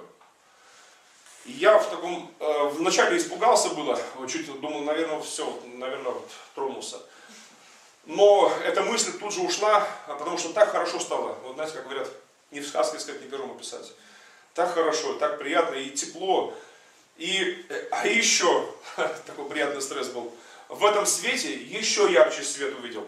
Это невозможно себе представить себе сейчас себя вот так вот на трезвую голову, как говорится, так вот, вот на, на просто так, невозможно себе представить. Яркий свет, а в нем еще ярче свет. И этот свет, я знал точно, что это не просто свет, а это Иисус. Я точно знал. И он, э, ну чем ближе, тем э, я больше понимал, что это Иисус. Вот, и он шел и улыбался, довольный, ну как вот, знаете, так грубо говоря, как паровоз. Вот. Очень счастливый такой, довольный такой не передать. Знаете, вот, э, вот бывают счастливые люди, да, вот, э, счастливые какие-то мгновения, моменты какие-то, а он такой постоянно, знаете, такой, очень счастливый такой, такой довольный. И идет, вроде как обняться хочет, вроде как. Вот, и я там, он чем, чем ближе подходил, у меня все колокотало, вот, хоть выпрыг, выпрыгнешь это сердце уже. Вот. И вот, и уже когда был близко уже совсем, вот, э, как-то зеркала, наверное, и, вот, и он перестал быть видимым, и все снова э, прекратилось как э, все снова было таким полумрак, полумраком, но самое интересное, внутри также все кипело, а также все вот бурлило, кипело, и жарко было, и э, волнительно. Я понимал, что он сейчас здесь, просто чтобы я не кинулся сейчас к нему, э, перестал быть видимым. Э, к чему это рассказываю? Я могу еще много чего рассказывать, но После того, да, э, я же тоже исцелился, я перестал кашлять, э, тогда сильно кашлял, значит, а больше того, я еще не просто э, не хотел спать, не то чтобы вот передумал спать, а вообще вот не хочется, как будто мое тело уже выспалось. И две недели еще оставалось, и я не хотел спать. Не, не потому что привычка, а потому что, знаете, болезненная есть такая, такая привычка, не спать долго, да, допустим, да, а это именно естественно не хотелось спать просто. Потом, естественно, не хотелось кушать. Как будто э, не просто, как вот в том анекдоте, да? Как твоя лошадь? Да, только привыкла нержамше жить и сдохла, говорит. Вот. Знаете, то есть это не привычка, вот бывает, когда, например, там, либо длительные там, посты или что-то, там уже привычка работает, да, уже все, уже как бы вроде уже даже не хочется, но это плохая привычка. Значит, как бы, э, она может очень плачевно закончиться, если вот так вот дальше идти. Но самое интересное, а, мое тело было как будто бы оно поело. А, то есть я не чувствовал голода, а, как будто оно поело. Не как будто оно привыкло голодать, а как будто оно поело. Потом и как будто я попил хорошо. Там меня уже жалели, уже там уже даже начальник гауптвахты, этот капитан там заходил ко мне как-то. Я вижу по нему, что он ну, меня уже за, за дурака считает, наверное, уже. Думаю, а я, я, я, наверное, повод давал, наверное, все-таки. Нечаянно, нечаянно. Малом привет, как говорится. Нечаянно. А, значит, а, просто я все это время 24 а, часа в сутки улыбался. А улыбка, даже когда две недели улыбаться а, последних, меня когда туда уволили, меня даже мышцы эти болели. Вот. Как гоемплен, знаете. Вот. вот. Не, ну я понимал, когда люди заходили ко мне в карцер, там новая рота, допустим, караул заступает, там офицер заходит, я пытался сделать серьезное лицо. Я понял, сейчас, сейчас откроет мою дверь уже, я так пытался. Ну, видимо, кто там говорил из этих актеров? Не верю. Станиславский, Станиславский, да. Не верю. Видимо, мне не верили, что я так страдаю. А я пытался изобразить серьезное лицо с ноткой трагизма, как бы страдания. Из меня мученика не получилось. Потому что очень, очень, очень счастлив был. Вот. И, ну, представьте, вот, наверное, со стороны дурачок, наверное. Вот 24 часа в сутки, две недели подряд улыбается человек. Ну, наверное, псих. Вот, по-человечески. Слава Богу, я себя не видел со стороны. Вот, я просто был счастлив. Вот, и пока я улыбался и счастлив был, значит, две недели подряд, значит, э, и даже присесть не хотелось уже, знаете, вот, раньше просто садился на цемент и все сидел, а это хоть бы что. Вот, стран, вот сейчас даже самому странно, честно говоря, даже. Вот, но э, в это время, а в это время, знаете, как вот фильм там, а в это, в это, в это же самое время, э, что творилось в штабе, я не знал, что творилось в моем полку, я не знал, а, а там много что совершилось. Оказалось, я узнал это потом, спустя э, некоторое время, годы даже, некоторые э, подробности узнал. Так получилось, что даже познакомился с офицером, с одним полковником Подмосковья, который лет 10 назад э, особист, который тогда был молодым офицером, значит, и который, э, ну, нам сдавали квартиру просто как раз, там, значит, Подмосковье, это Красная Поляна называется, где аэропорт, значит, и, ну, с хорошим видом, прямо вот на эти вот самолеты, мне так нравилось. Значит, и вот, и что интересно, э, он того генерала вспомнил, э, которого, ну, сын тогда вот все это творил, и э, он мне подтвердил кое-что, очень плохую информацию. Оказалось, что тот офицер, который хотел меня дембель ногами вперед сделать, он сам в это время погиб. Просто ну, трагически так получилось. Ну, слухи ходили разные, одни говорили, ему помогли, другие говорят, что он на самом деле нечаянный вот так вот, хотя был чемпион и пловец, и все, но так получилось, что его нашли поздно, а, уже, значит, а, а, в воде побывавшим долго. Значит, ну, знаете ли, я не желал ему зла, Бог свидетель, но особо и не молился, правда, за него. Хотя Библия говорит, и Ишуа говорит, молитесь за гонящих вас, обижающих вас, творящих напасти, потому что они же не знают, что творят. К чему я это рассказал? Долго получилось, извиняюсь, э, вроде как не совсем в тему, но а, это в тему целомудрия, э, целостного мудрования. Знаете ли, вот э, тот э, Сережа Журавлев, как бы, как, как типа дурачок, вот там в карцере улыбающийся две недели, на самом деле это э, целомудренный человек. Знаете ли, э, я вспоминаю, сейчас удивляюсь, сейчас уже прошли годы, удивляюсь сам. Вот э, иногда такие мысли посещали меня тогда, знаете ли, среди вот этого всего радостного, иногда такие, как бы, такие тревожные мысли такие посещали. А что, если сейчас вот дисбат на самом деле отправят? А что, если там... Я думаю, я подумал так, что даже если меня сейчас в ад отправишь, я буду очень счастливым. Если, если с таким вот Иисусом, даже в дисбате будет рай. Вот, вот с таким Иисусом, даже если вот отправишь вот сейчас вот в дисбат, туда куда-то, в концлагерь, куда, куда угодно, это счастье, оказывается. Представляете вообще? Целомудрие – это не видеть только лишь земное. А, целомудрие – это библейский взгляд на вчерашнее, сегодняшнее, завтрашнее в своей жизни, в истории твоего народа, твоей страны, Израиля, э, всего мира. Это видеть глазами Его. Когда кажется, что с нами никого, а, помолишься, вроде как нас много, нас больше. С Богом нас богато, нас не подолати. Если с Богом, если с Богом. Удивительно, конечно. И, а, знаете, а, в истории и христианства, Израиля много хотел я рассказать. А, кстати, а время-то у нас... А, не, российское время просто. А, так, значит, а, потому что большей частью я в России тружусь последние годы. Да, о чем вам? О страшном или о смешном? Страшно? Вы же не боитесь. А вы знаете, э, я несколько примеров расскажу э, своих любимых из истории христианства, из истории Израиля тоже. Э, примеров, которые ну, очень сильно вдохновляют. Знаете,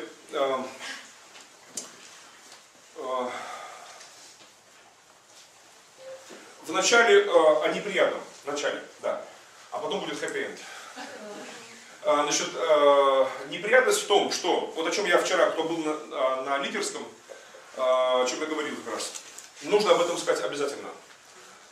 Знаете, в 96 году, когда я вышел из традиционной русской православной церкви, то есть до 96 я служил, ну, с 88 мой трудовой стаж в русской православной церкви до 96 года. Вначале был чтецом, диаконом, в 91-м стал священником и, в общем-то, потрудился э, в Орловской, Московской, Рязанской и Брянской областях, в четырех областях. Более или менее религиозную жизнь я знаю, знал тогдашнюю. А в других постольку поскольку. И за эти годы служения много было всякого, хорошего, плохого, разного. Я благодарю Бога за этот религиозный опыт, благодарю Бога за тех людей, с кем пересекался тогда. Знаете, многие из них, из этих священников, были действительно людьми верующими, но, к сожалению, верующими, как правило, не, а, совсем не библейскими. Верующими а, бесовски, верующими душевно, верующими человечески, как угодно, но только религиозно, но только не евангельски, не библейски. К сожалению. И я в 96-м только лишь прозрел. Читая Слово Божье, Бог меня развернул снова к Библии в 96-м году. А, через Эрна Штегина, через проповеди Эрна Штегина, Людмила Плет, а, «Время начать суду с Дома Божьего», книга называется. Слышали, наверное, да? Может, читали. Потрясающая трилогия, она и сейчас очень, эта э, трилогия а, очень сильно касается многих людей верующих. Три книги Людмила Плет тогда издала. Значит, э, э, «Пробуждение начинается с меня», «Время начать суду Дома Божьего» и «Глаз вопиющий в пустыне». Эти три книги очень сильно меня потрясли. Э, в 96-м. Это были первые книги протестантские, не православного как бы, издания, которые я в жизни себе прочитал. До того я читал э, только лишь православные издания и э, даже и не думал читать католические или протестантские какие-то источники. Но так получилось, э, что в 96-м познакомился с одним очень интересным человеком. Э, значит, э, мы с ним побеседовали. Он-то вроде как бы прикинулся православным, оказался не православным. Оказался ну, соглядатой, красивое слово такое есть. Вот, э, ну, не то чтобы э, э, специально, он потом мне рассказал, его зовут Григорий. Я очень люблю его, этого, этого брата, Григорий Тельных. Он сейчас пресвитер в городе Сураж Брянской области. Тогда он был диаконом в одной из церквей, как раз вот там же Брянской области. Я с ним познакомился, пересекся. Он сам первым начал разговор. И мне он очень понравился, он очень мне он понравился, как человек. Вопросы задавал, знаете ли, ну такие умные вопросы, хорошие вопросы. И без подковырочек всяких. А я любил с людьми побеседовать, и я рассказывал ему, как вот я верю, как я понимаю, о том, о всем, пятом, десятом. Думаю, надо же какой правильный человек. Вот, значит, и, и вдруг он себя сдал, нечаянно, сам того не ожидает. Он просто процитировал из Библии что-то очень -то близко к тексту, так подробно. Но не сослался там, так говорит Библия, просто вот процитировал длинный отрезок довольно. Но я-то Библию раньше читал-то, изучал в свое время, по крайней мере до 88 года ну, и жил этим словом. А, значит, а, не зная евангельских верующих, совершенно протестантов, просто знаю Бога, пережив Бога в своей жизни в 13 лет неполных, а, я умирал, потом возвращение в тело. А, первое мое покаяние было в экстремальных условиях. Значит, э, и потом была Библия, через книги по атеизму вначале, потом и настоящая подпольная, полулегальная Библия и прочее. То есть, как бы, но в 88-м э, священник, э, у которого я начал служение свое полное, уже на полное время, не просто раз в неделю, а каждый день, уже в служении отец Иоанн Квитович, митрофорный протерей в Орловской епархии, Орловско-Брянской тогдашней епархии, он мне строго-настрого сказал, что а, вот ты, читая Библию вне как бы а, церкви, получается, самостоятельно, вот ты понял ее и вот а, не так.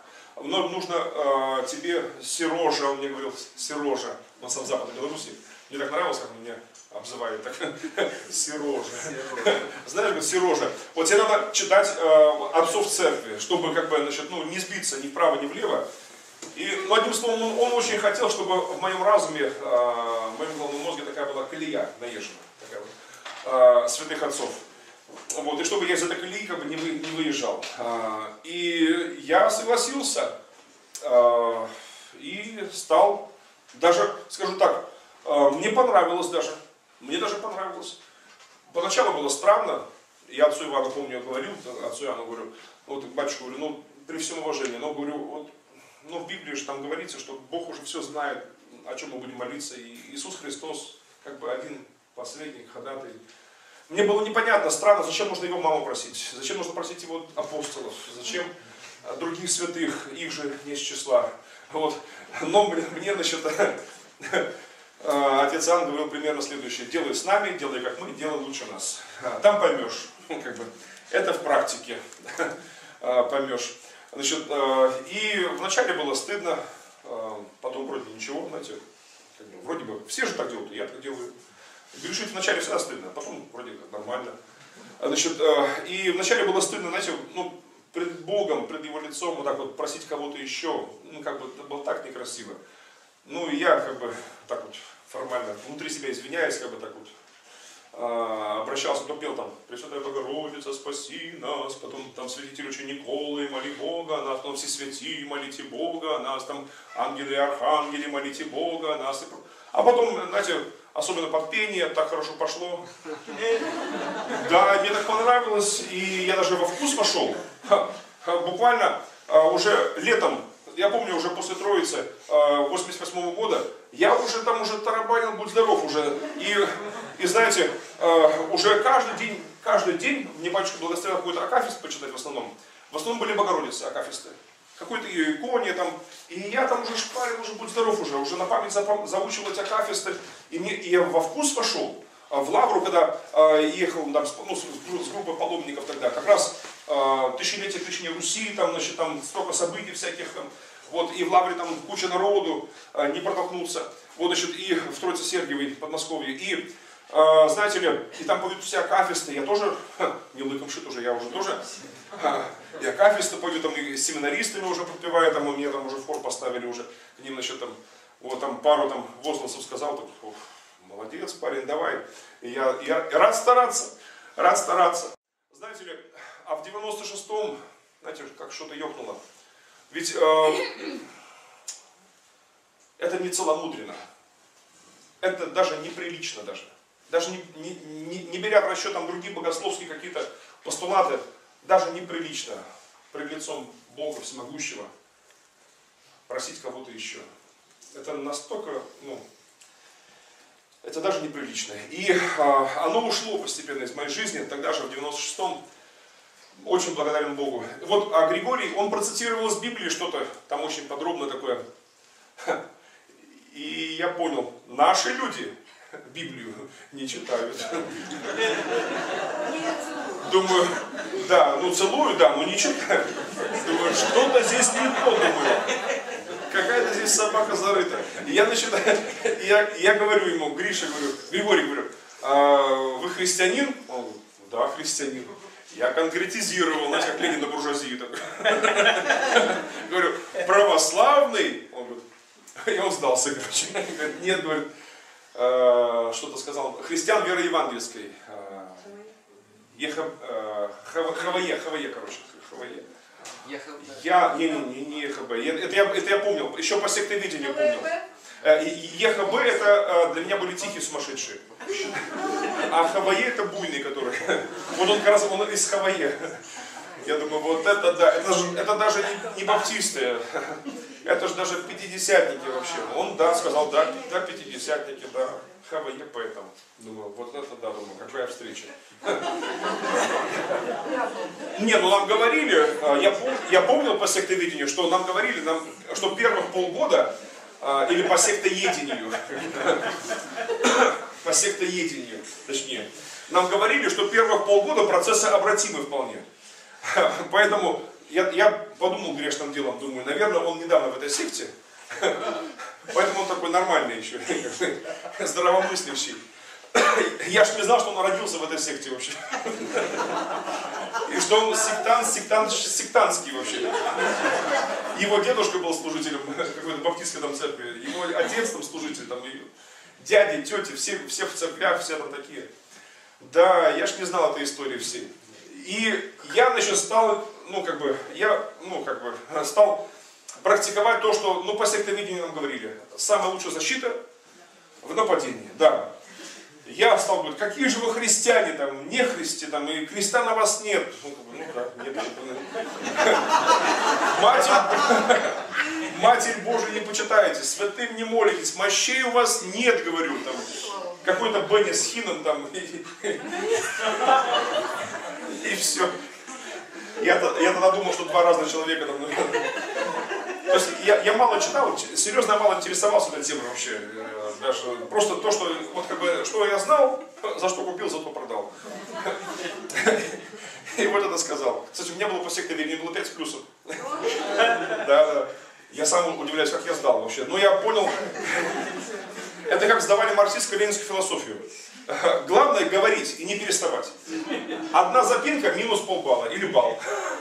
Две запинки на, ответе, два балла минус. Ну, тройку получишь, значит. Поэтому главное, там, знаешь, не знаешь, просто говори, говори, говори. И обычно, как принимали марксистскую философию раньше, да? Если говорит, ну, говорит не мешки, не мешки таскать, в конце концов, значит. И тут же раз, и пятерку тебе выводит. А если ты говоришь еще прям еще с чувством, с остановками, то с плюсом ставят. И также по сектоведению. А что вы думаете о тех? А, это вообще, это. То есть нужно себя хвалить, а всех ругать. И, и сдашь 5 плюсов. И я сдал как-то, знаете, да. И, э, но на самом деле я почти ничего не знал. Вот, серьезно, просто привычка болтать была. Вот, вот как бы старая советская вот такая вот значит, методика. Она работала и в семинаре тоже работала. Вот, и, э, но я понял, я помнил одно, что, значит, пятидесятник это злая секта, опасная секта такая. Вот, и пожалел даже этого Гришу. Я ему дал книгу э, про Богородицу, «Земная жизнь Пресвятой Богородицы». Такая в твердом переплете, такая такая. Из жалости к нему, как бы, дал ему. И он взял эту книгу, и я понял, думаю, вот если примет Богородицу, он наполовину наш уже.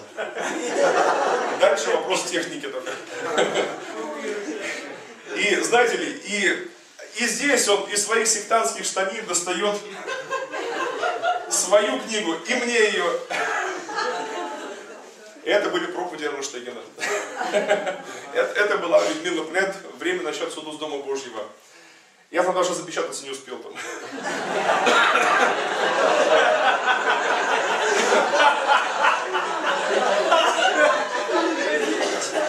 Ну, правда, потом пошаманил. Потом да. Спасибо, Господи, люди твоя там. И прочее, прочее, как положено. Вот. А, а домой приехал и жене рассказываю. Она, ну, моя супруга Инна вообще, по паспорту, а по церковному Нина. Ну, так. Вот, говорю, Нина, представляешь, говорю, кого я видел сегодня? Живого пятидесятника настоящего. Ну, для меня была диковинка вообще. Первый пятидесятник в моей жизни вообще, кого я увидел. Живьем так вот. Значит, и, значит, а, она говорит, да что? А, да, вот, говорю, даже книжку мне дал почитать свою, сектантскую. Она говорит, ну, ну ты, конечно, не читай, а то еще какой ересью заразишься там. Я, я, я говорю, Нина, говорю, обижаешь, говорю, матушка, обижаешь, говорю. Чему меня, батюшку, могут научить протестанты? Ну, яйца курицу не учат. Ну, вообще, без году неделя, ну, ну смешно. Хотя, на всякий случай, я ее все-таки э, ну, не, в сам дом не внес, а вот, ну, как бы, там, положил, ну, как, сене там, не сене там, что-то такое. Вот. А там оставил. На всякий случай, ну, мало ли, чтобы никаких вирусов там, излучений там, сектантских. Вот, а, а самому было интересно. Любопытство страшная вещь. Так интересно, прохожу, я выхожу, захожу, глядь, там сектантская книжка лежит, лежит, думаю, ладно. А что ж там написано, интересно? Думаю, а вдруг он меня спросит краткое содержание? А я же даже не знаю. Мы, а мы договорились, что через недельку встречаемся снова и обменяемся снова книжками. То есть он мне вернет мою, а я ему его отдам книжку. Да. И вот время уже как бы уже к субботе, мы должны встретимся в субботу, уже, значит, уже там а, в районе центрального рынка, думаю, ага, ну как-то неприлично, я хотя бы прочту хотя бы первые ну, страничку, две странички, там, а вот много грехов не наберусь, там, значит, там, как бы, э, ереси, там, не нахватаюсь. Но будет мне, как бы, еще плюс по сектоведению какая-то тема, допустим, будет, ну, на всякий случай, мало ли, пригодится. Короче, и вот я внес ее таки в свой дом, значит, ну, церковный наш дом, где мы жили, а, в свою комнату. Такая самая святая комната у меня такая была. О, святость, там, ашпре. Там везде иконы, это одно. Всякие мешочки, э, мешочки с землей, с разных могил святых. Э, там всякие, там, там, короче, там чего только не было вообще. Посох от Серафима Саровского, короче, там, там, э, оттуда, оттуда, оттуда, отовсюду у меня были эти вещи. Даже на потолок, э, на потолке было э, изображение в таком новгородском старом таком стиле, спаситель там, вот с таким вот кулаком, как, как лицо кавказской национальности. Такой обрек такой сверху. А, в эту комнату мы как-то тесте поселили. А, он туда приехал первый раз как раз, да. Ну, он еще там покуривал там и там как бы немного там решил. Ну, мы решили как бы это, чтобы он там просветился как бы. Положить его там, пропитался, пропитался. А там у нас мы ему сразу не сказали, короче, ночью у нас там это, это все в одном хозяйстве, один двор, храм и церковный дом. И там э, ночью включается, он как-то там, ну, не знаю, подкручен, э, время от времени прожектор большой такой. И там вообще книжку читаю вообще. Можно даже свет не включать. И представляете, значит, свет, и тесть ночью просыпается и видит над собой какого-то кавказца. Он там пару блоков и на, и на пол.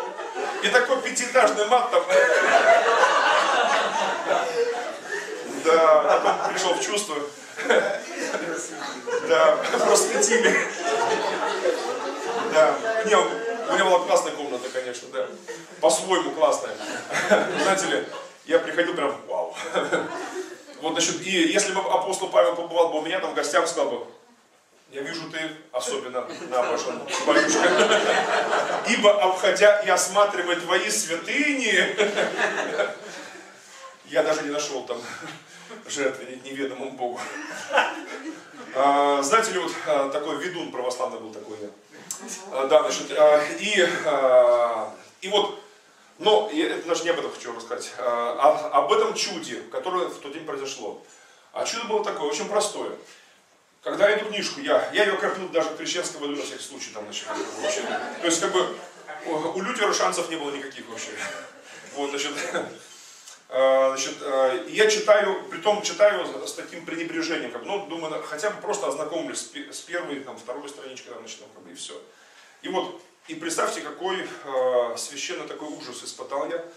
Вот э, потрясение. Э, я буквально с первых же страниц увлекся, не мог остановиться. Я читал то, что было у меня на сердце, то, о чем мы с женой могли лишь только на кухне побеседовать. Не с кем было поговорить нормально. Не, были священники, я приезжал и в Москву там, и пытался с кем-то поговорить. Э, среди рязанских, там, брянских, там, орловских священников, многих знал, с кем-то пытался, с тем, с тем. Но, во-первых, большинство священников наших без этого дела вообще не хотели разговаривать. Вот, значит, это во-первых. А во-вторых, э, если, если у них язык развязывался после этого дела, вот, значит, то э, им вообще не интересно было об этом говорить. Э, о женщинах, там, э, о деньгах, о чем угодно. Э, но я сейчас не осуждаю этих людей, просто большинство из них, подавляющее большинство, просто не, рождено свыше. Я просто прекрасно понимаю, что это обычные люди, обычные грешники, просто необычно одетые, и необычно у них работа, очень необычная, которая подразумевает служение Богу. Вот, и оказались они между молотом и наковальней. Знаете, вот, как бы, вот такая ситуация, очень непростая у них ситуация на самом деле. Вот, и одно лишь могу сказать, должно вам родиться свыше. Все все остальное не имеет смысла. И вот, и, господа, а, вот а, я очень Бога благодарю за а, Людмилу Плет, очень благодарю Бога за Эрла Штегина, за его эти проповеди, потому что они были, во-первых, беседы все эти записанные были христоцентричны. Вот это подкупало по-хорошему. То есть там Иисус Христос в центре внимания. Во-вторых, библейский взгляд. Это можно было назвать одним словом его книгу, эту книгу целомудрие.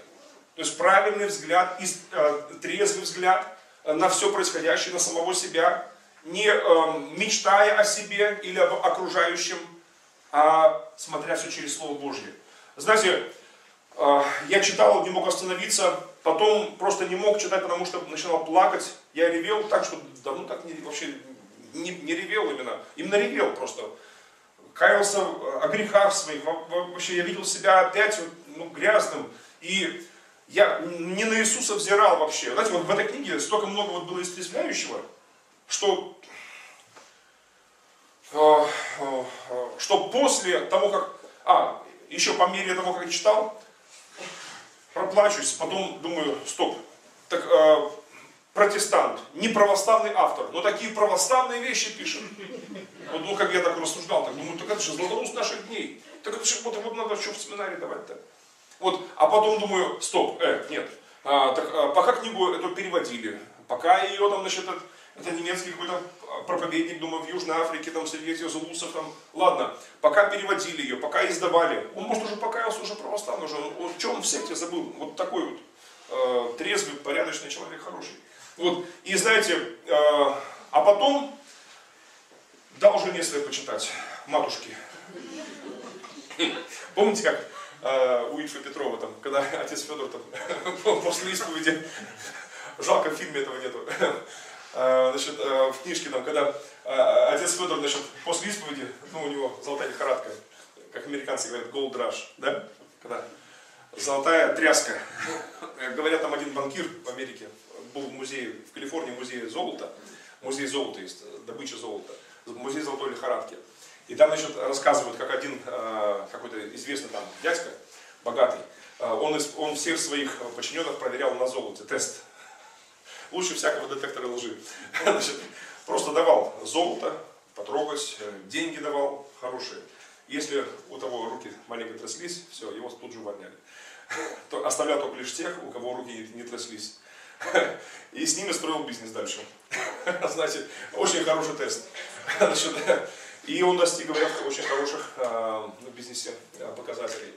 Вот, то есть, если человек, он любит золото, да, любит деньги, у него ненормальное отношение такое, то он стремится к этому, то это очень плохой знак, очень дурной знак для бизнеса. Значит, э, и, то есть, только с теми можно нормально строить, кто как бы нормально к этому относится. Как бы. Не, для него это не самая первая цель в жизни вообще. Ну, это, это отвлечение. И вот я, значит, когда своей жене дал эту книжку, почитать, она взяла. Там тоже наревелась, там, а, потом, не знаю, она даже мне сказала интересные слова такие, а помнишь, когда мы еще только поженились или еще даже не женились, ну, вот уже где-то возле того. А, она как-то рассказала мне про какую-то знакомую, там, давнюю, там, баптистку, какую-то женщину, э, с баптисткой вроде как какой-то церкви там. Она умерла, эта женщина, но она при жизни, она все об Иисусе Христе как-то говорила. И при том так, что как будто бы он прямо там присутствует, Иисус этот. И э, даже неверующие люди собирались, она начинала так рассказывать, что плакать начинала, петь, и люди слушали, смолкали, хотя там коммунисты, атеисты, но очень как бы так вот, ну, э, с пониманием таким относились к ее вот вере. И эта женщина заболела, потом умерла, э, и она мне, э, Нина говорила, что, ну, представь, неужели она пошла в ад, э, потому что была баптисткой.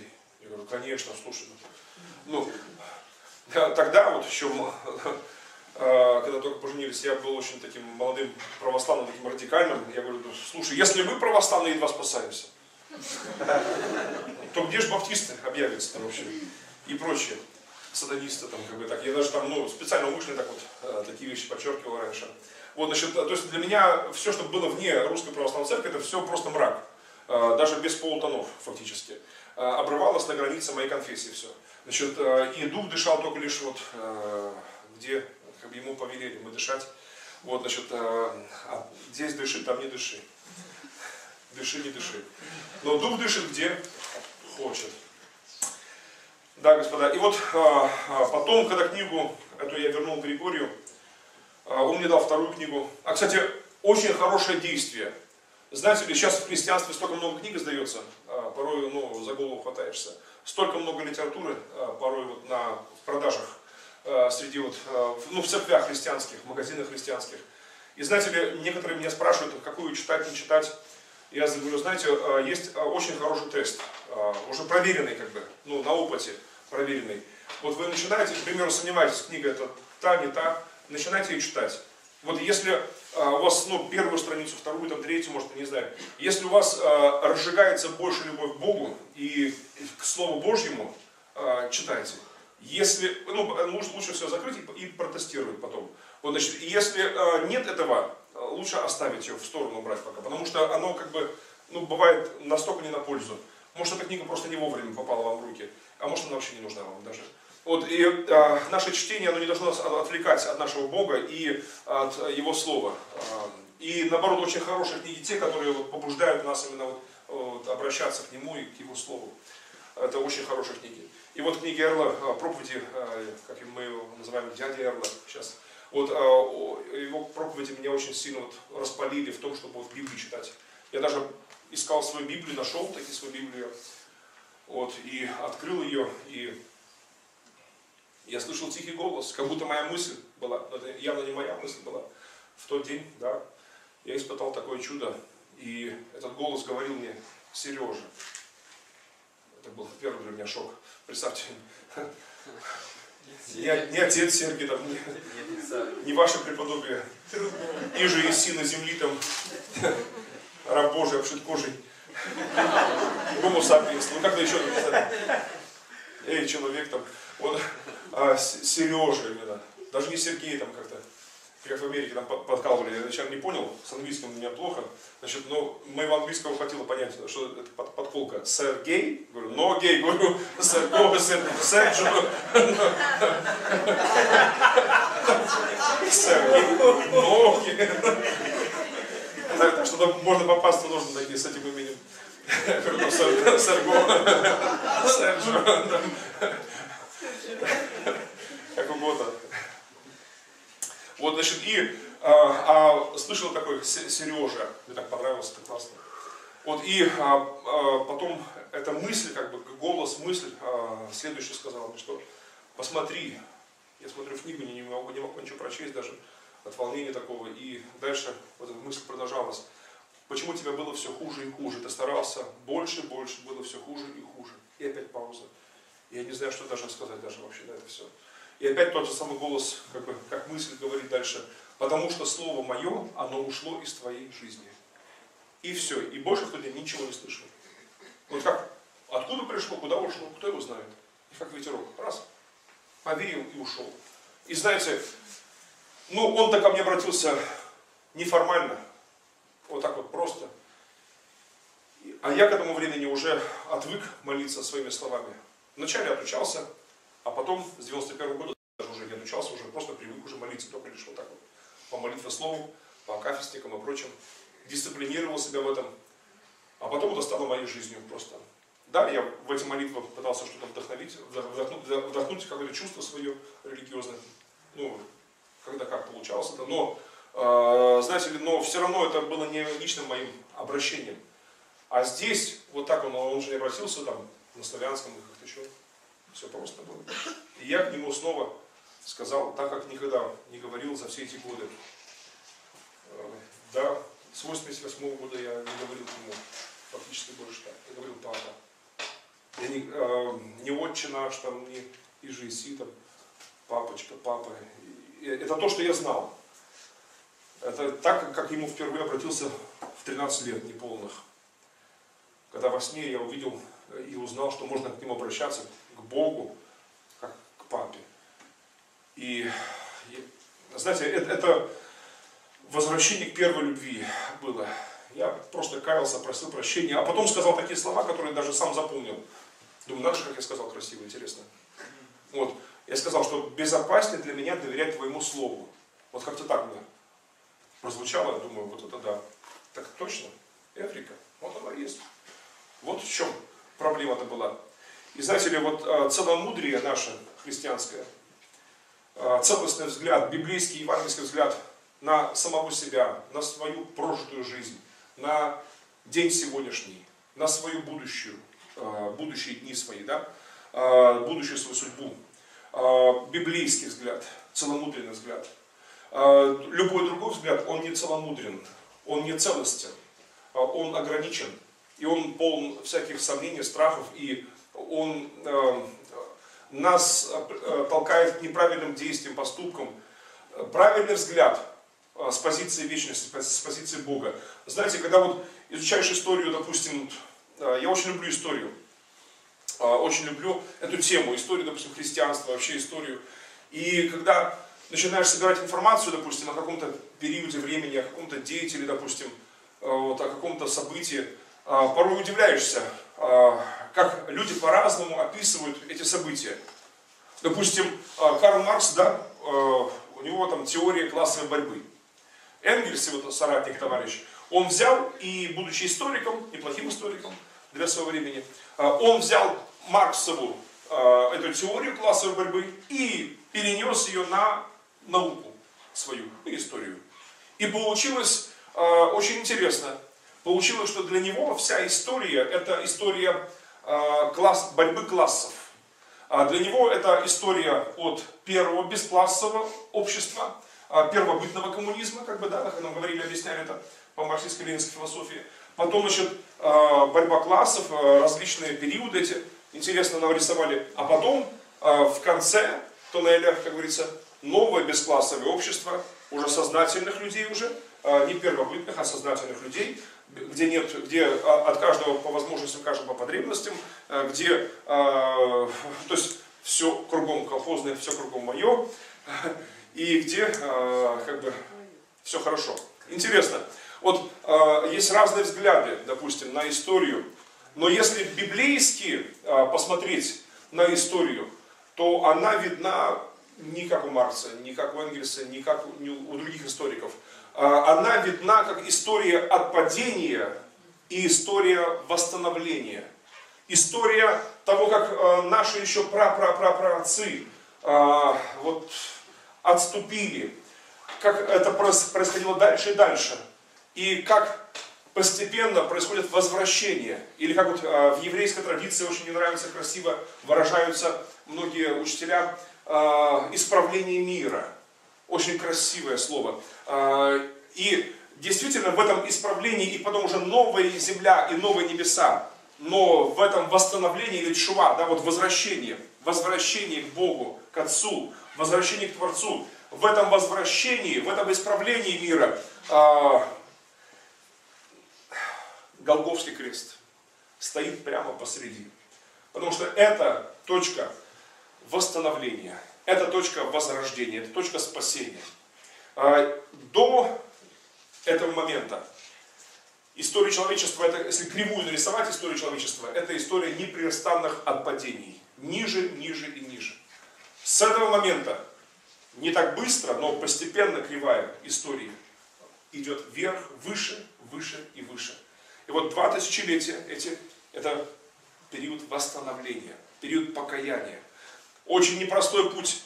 На этом пути много и искушений, и соблазнов, много всего и было, и есть, и будет. Но с Божьей помощью совершится. С, Богу, с Божьей помощью состоится. Друзья, потому что э, Господь грядет, и время начать суду с дома Его, с дома Божьего. И вот э, несколько еще эпизодов таких из истории хочу вспомнить сегодня, интересных. Много христианство привнесено было различных еретических учений. Много, вот такое ощущение, как будто бы, к примеру, в четвертом, нет, в пятом даже столетии особенно, как будто бы э, перепутали эти трубы, и канализация хлынула просто, э, и отравление началось тела Христа. Но знаете, э, я убедился в чем? Что оказывается, ну, э, это, это вывод сделали многие историки, э, но я убедился, изучая это Э, эту тему, что а вот той дверью, тем крайником, который все это сделал, а, той, тем первым грехом как бы церкви был антисемитизм. Хотите верить, хотите нет. Не, не, не какие-то там другие проблемы, а именно антисемитизм. Интересно, как это могло быть вообще в истории христианства? Как это пришло? Все начиналось с каких-то пустяков, казалось бы. А, исторически а, во втором столетии, а, вот при, был такой папа римский Виктор, был разговор епископов в церкви о времени празднования Пасхи. Казалось бы, ну что за разговор? Когда Пасха? Ну в Библии там говорится, да, полнолуние месяца Нисан, 14 Нисана. Значит, Бог вывел свои ополчения из Египта для служения как бы все чин по чину. А, и поэтому полнолуние этого месяца, а, Нисан, оно как бы, ну это, это Пасха, это Песах. Но зачем епископам Рима и других городов вообще вопрос такой было ставить? Зачем? Что им с этого было вообще? Было желание, страстное даже у них желание, я так понимаю, отмежеваться от евреев. Показать и самим себе, и сильным века того, императорам в частности – что мы не евреи, евреи не мы. Мы как оторванный ломоть. Мы как э, уже отдельная религиозная система, уже ничего общего не имеющая с иудаизмом. Ага, Потому что а, для Римской империи также был характерен антисемитизм. И время от времени а, евреям было очень несладко, ну, по разным причинам. Тем более, вот я вам сегодня кое-что рассказал о трагедии Иерусалима, о трагедии разрушения храма. Но картина не полная, если не вспомнить Барковбу, если не вспомнить Сына Звезды, почему надо о нем тоже вспомнить сегодня? Это очень страшная печальная история, но нужно о ней помнить. Потому что сам Машиах, сам Мессия, Христос, истинный, Иисус, предсказывал это страшное событие. Он говорил, что я пришел во имя Отца моего, меня не приняли, но придет иной во имя свое, его примите. И точно, как мы говорим, как воду глядел, точно, через сто лет пришел этот человек, очень эффектно, с мечом, на коне, а, покорил сердца, умы миллионов людей. А, первосвященники его провозгласили официально Христом, Машехом. И в то время, через сто лет после Ишуа, а, все иудеи стали мессианскими. Только лишь разница в том, что меньшевики, если можно так условно назвать, верили, что Иешуа Машех, а большевики верили, что Барков Машех. В принципе, все стали мессианскими. Это было во втором столетии.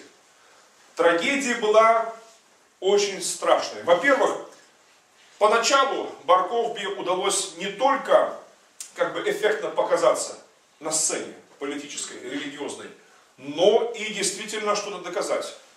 А, это были победы, римляне с позором бежали, казалось бы, эйфории победы, э, независимости, казалось бы, Израиля, наконец-таки, римляне были в растерянности на самом деле, но у них там в империи были свои проблемы очень серьезные, как бы, и они не могли даже послать туда легионы дополнительные для э, э, как бы, ну, усмирения иудеи. Но вскоре римляне спохватились, что теряют лакомый кусочек на Ближнем Востоке. Э, римляне послали туда свои отборные легионы, и навели железной рукой римской страшный порядок. Сколько народу погибло, мы даже не знаем точно. Миллион, полтора, разные цифры называются. Просто была страшная бойня в Израиле. А, э, тысячи, десятки даже тысяч пишут, а, евреев были распяты в предместьях Иерусалима. Вообще, это, это была страшная бойня. Барковка погибает. А все его, а, все его соратники погибают, первосвященники погибают. А, значит, род священников вырезают фактически римляне. То есть сохраняются очень немногие. И те, кто уцелели, учителя Израиля, они в ужасе, они пытаются сохранить традицию, записать ее хотя бы, потому что иначе ну, вообще прервется устная Тора. Они говорили, прервется цепь этих преданий, и мы должны записать что-то. Началось записывание как раз этих преданий. А, и это был страх, это был ужас и величайшее разочарование. Представьте, поверив в Барковбу, как в Машеха, Израиль поставил не на того совершенно. И он поставил все. Самая страшная игра. Это не было просто лишь большой ставкой. Израиль поставил все. Вот весь капитал, все фишки, все. И не на ту лошадку совсем. Это была черная лошадка. Это был сын не звезды, а сын ада. И это стало ясно. Но уже было поздно. Локти кусать после драки кулаками не машут. Историки пишут, что римские легионеры сами были в ужасе от происходившего тогда в Израиле. А, десятки тысяч евреев выходили вооруженные на сражение. Небольшие отряды римлян, сотни людей прогоняли и убивали тысячи евреев, которые, то есть как бы все наоборот происходило, не как ожидалось. Было величайшее поражение. И вот после этого, конечно, после этой величайшей трагедии, э, история Израиля, она была э, очень ну, омраченной э, и этими, этой страшной ошибкой, и многими другими грехами. Это было очень страшно. Но еще страшнее – что среди христиан нашлось очень много тех, кто злорадствовал, тех, кто может, не одобрял эту массовую бойню, но как бы показывал пальцем и не против был этого. Это очень страшно. То, что в Израиле произошло, это очень страшно. То, что с еврейским народом произошло, это очень страшно. Но, как на мой взгляд, еще более страшнее события произошли в церкви, которая, казалось бы, удар не приняла в тот момент на себя, но из-за ее позиции такой, стоять в сторонке и ухмыляться еще порой, а плюс еще нашлись богословы, которые в то же самое время начинали свои антисемитские вот эти вот пасквили, подливая масло в огонь. Это послужило раздором. Вместо того, чтобы протянуть руку евреям, вместо того, чтобы э, тем неевреям, что уверовали в Иисуса как в Христа, вместо того, чтобы протянуть, помощь оказать какую-то определенную, протянуть руку братскую, стали лишь отталкивать, стали лишь подливать масло в огонь. И это было вот той трещиной, которая впоследствии, э, знаете ли, стала огромным каньоном, огромной пропастью просто, э, разделяя Израиль и церковь. Многие другие богословские проблемы пришли позже, гораздо позже. Но уже тогда первые толчки этого страшного учения уже прозвучали. Кстати, если а, обратимся, вот а, теория замещения, слышали все о ней, да, наверное? Многие читали об этом, слышали об этом лекции. А, у Бориса Луча очень хорошее есть учение об этом, очень классное объяснение. Я хочу еще кое-что дополнить и рассказать вам еще кое-что. Учение о теории замещения как таковая, это теория, это учение, уже учение очень опасное. Оно ну, антиеврейское это, антииудейское, да. Но не только это.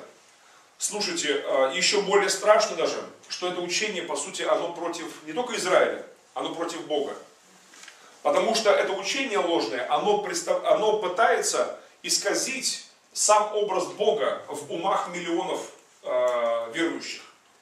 Э, якобы Бог такой, если Бог, э, и, и, вот только представим, что Э, вот эти учителя замещения, они правы.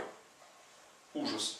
Вот такому Богу, э, который, которого они себе представляют, э, я бы в жизни не поверил.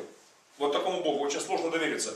Такой Бог, согласно этой теории, он любил Израиль, клялся и божился в своей верности, своей любви, но вдруг однажды взял и передумал, и полюбил другую. Сердцу не прикажешь. Вот, значит, церковь христианскую. А что с Израилем? Развод, дети форточку. Прошла любовь, завяли помидоры. Все. И, знаете, а, оказывается, развод. Вот это да. Хм, интересно. И теперь все то, что хорошее писалось об Израиле и говорилось Богом, все это теперь к церкви относится. А все плохое остается Израилю. Интересная теория такая. Очень интересная. А я так мысль продолжил, думал, ага, стоп. Если Бог однажды взял и передумал и нарушил свое же слово, то как ему поверить вообще? Очень сложно. Если он кинул однажды, а вдруг нас кинет? И, и, да, слушайте, э, я понимаю, почему э, и в Африке, допустим, в других некоторых э, регионах, континентах есть исламские миссии, значит, эм, проповедники, миссионеры исламские, которые называются, называют себя миссией новейшего завета. Миссией новейшего завета. Вау. И э, я представляю себе, а Бог, допустим, он общался с иудеями, потом отверг их, потом с христианами, потом сказал, нет, ребята, хватит уже, уже надоели мне христиане, выберу-ка я мусульман, допустим. Да, и мы попали. Ну, я, может, еще как-то 50-50 как-то проскочу, у меня по маме татарские корни, еврейские по отцу, а мусульманские по, по матери. Как-то, может быть, я как-то еще договорюсь как-то с этим Богом. Вот, значит, но у многих большие проблемы у нас. Но, да, но все-таки пять раз в день молится, значит, чин по чину. Что он-то прям? Значит, а потом, а, а потом, к примеру, мусульмане, товарищи, рано радуйтесь. А, а вдруг завтра и с мусульманами надоест Богу иметь отношения? Скажет, возьму-ка я лучше себе э, этих э, буддистов, допустим. Э, вот, божьи коровки прям вот. Все, значит, хорошие ребята. Вот. И вегетарианцы там, и, и, и прочее.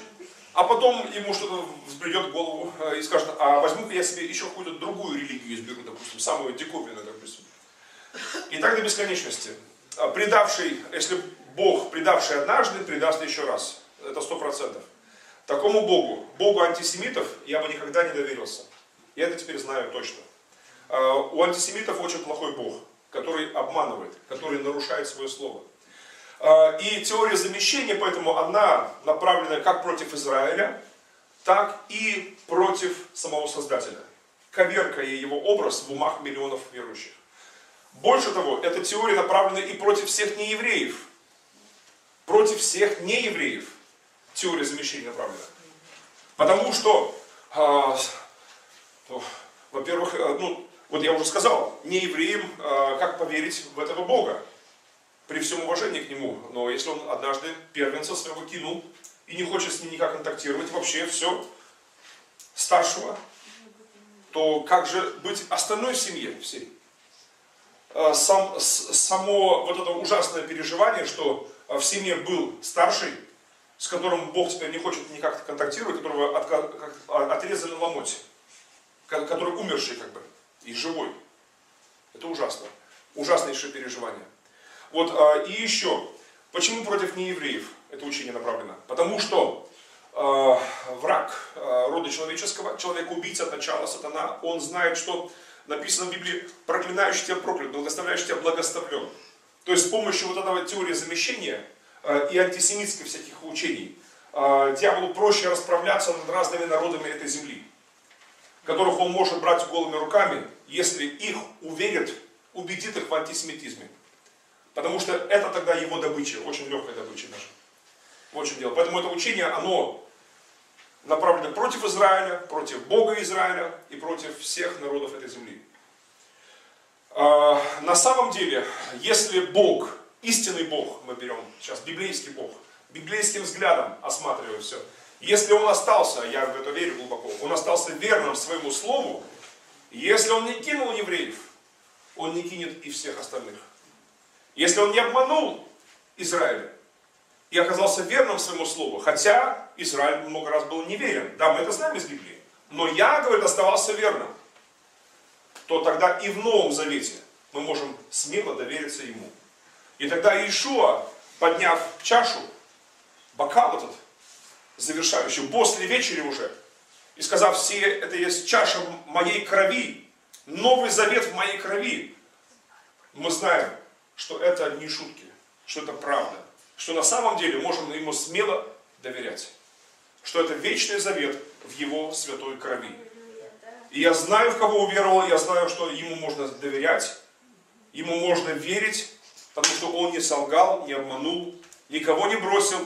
И даже если его сын один оказался возле свиного корыта где-то греха, он все равно любит, ждет, он не осуждает. И если человек возвращается, он ему сразу одевает одежду, перстень, э, пир закатывает. Слава Богу, друзья. И еще скажу, друзья, очень страшная печальная новость для всех антисемитов. И всех, кто любит теорию замещения. Очень страшная новость. Когда это учение, оно лишь зарождалось, ну, точно неизвестно, кто его вот так вот оформил, но обычно связывают э, с именем Иоанна Златоустова. Патриарх Константинопольский а, Иоанн Златоустый. вот как раз в понедельник был его память, была его по календарю православной церкви. Э, Иоанн Златоустый э, много сделал хорошего с одной стороны.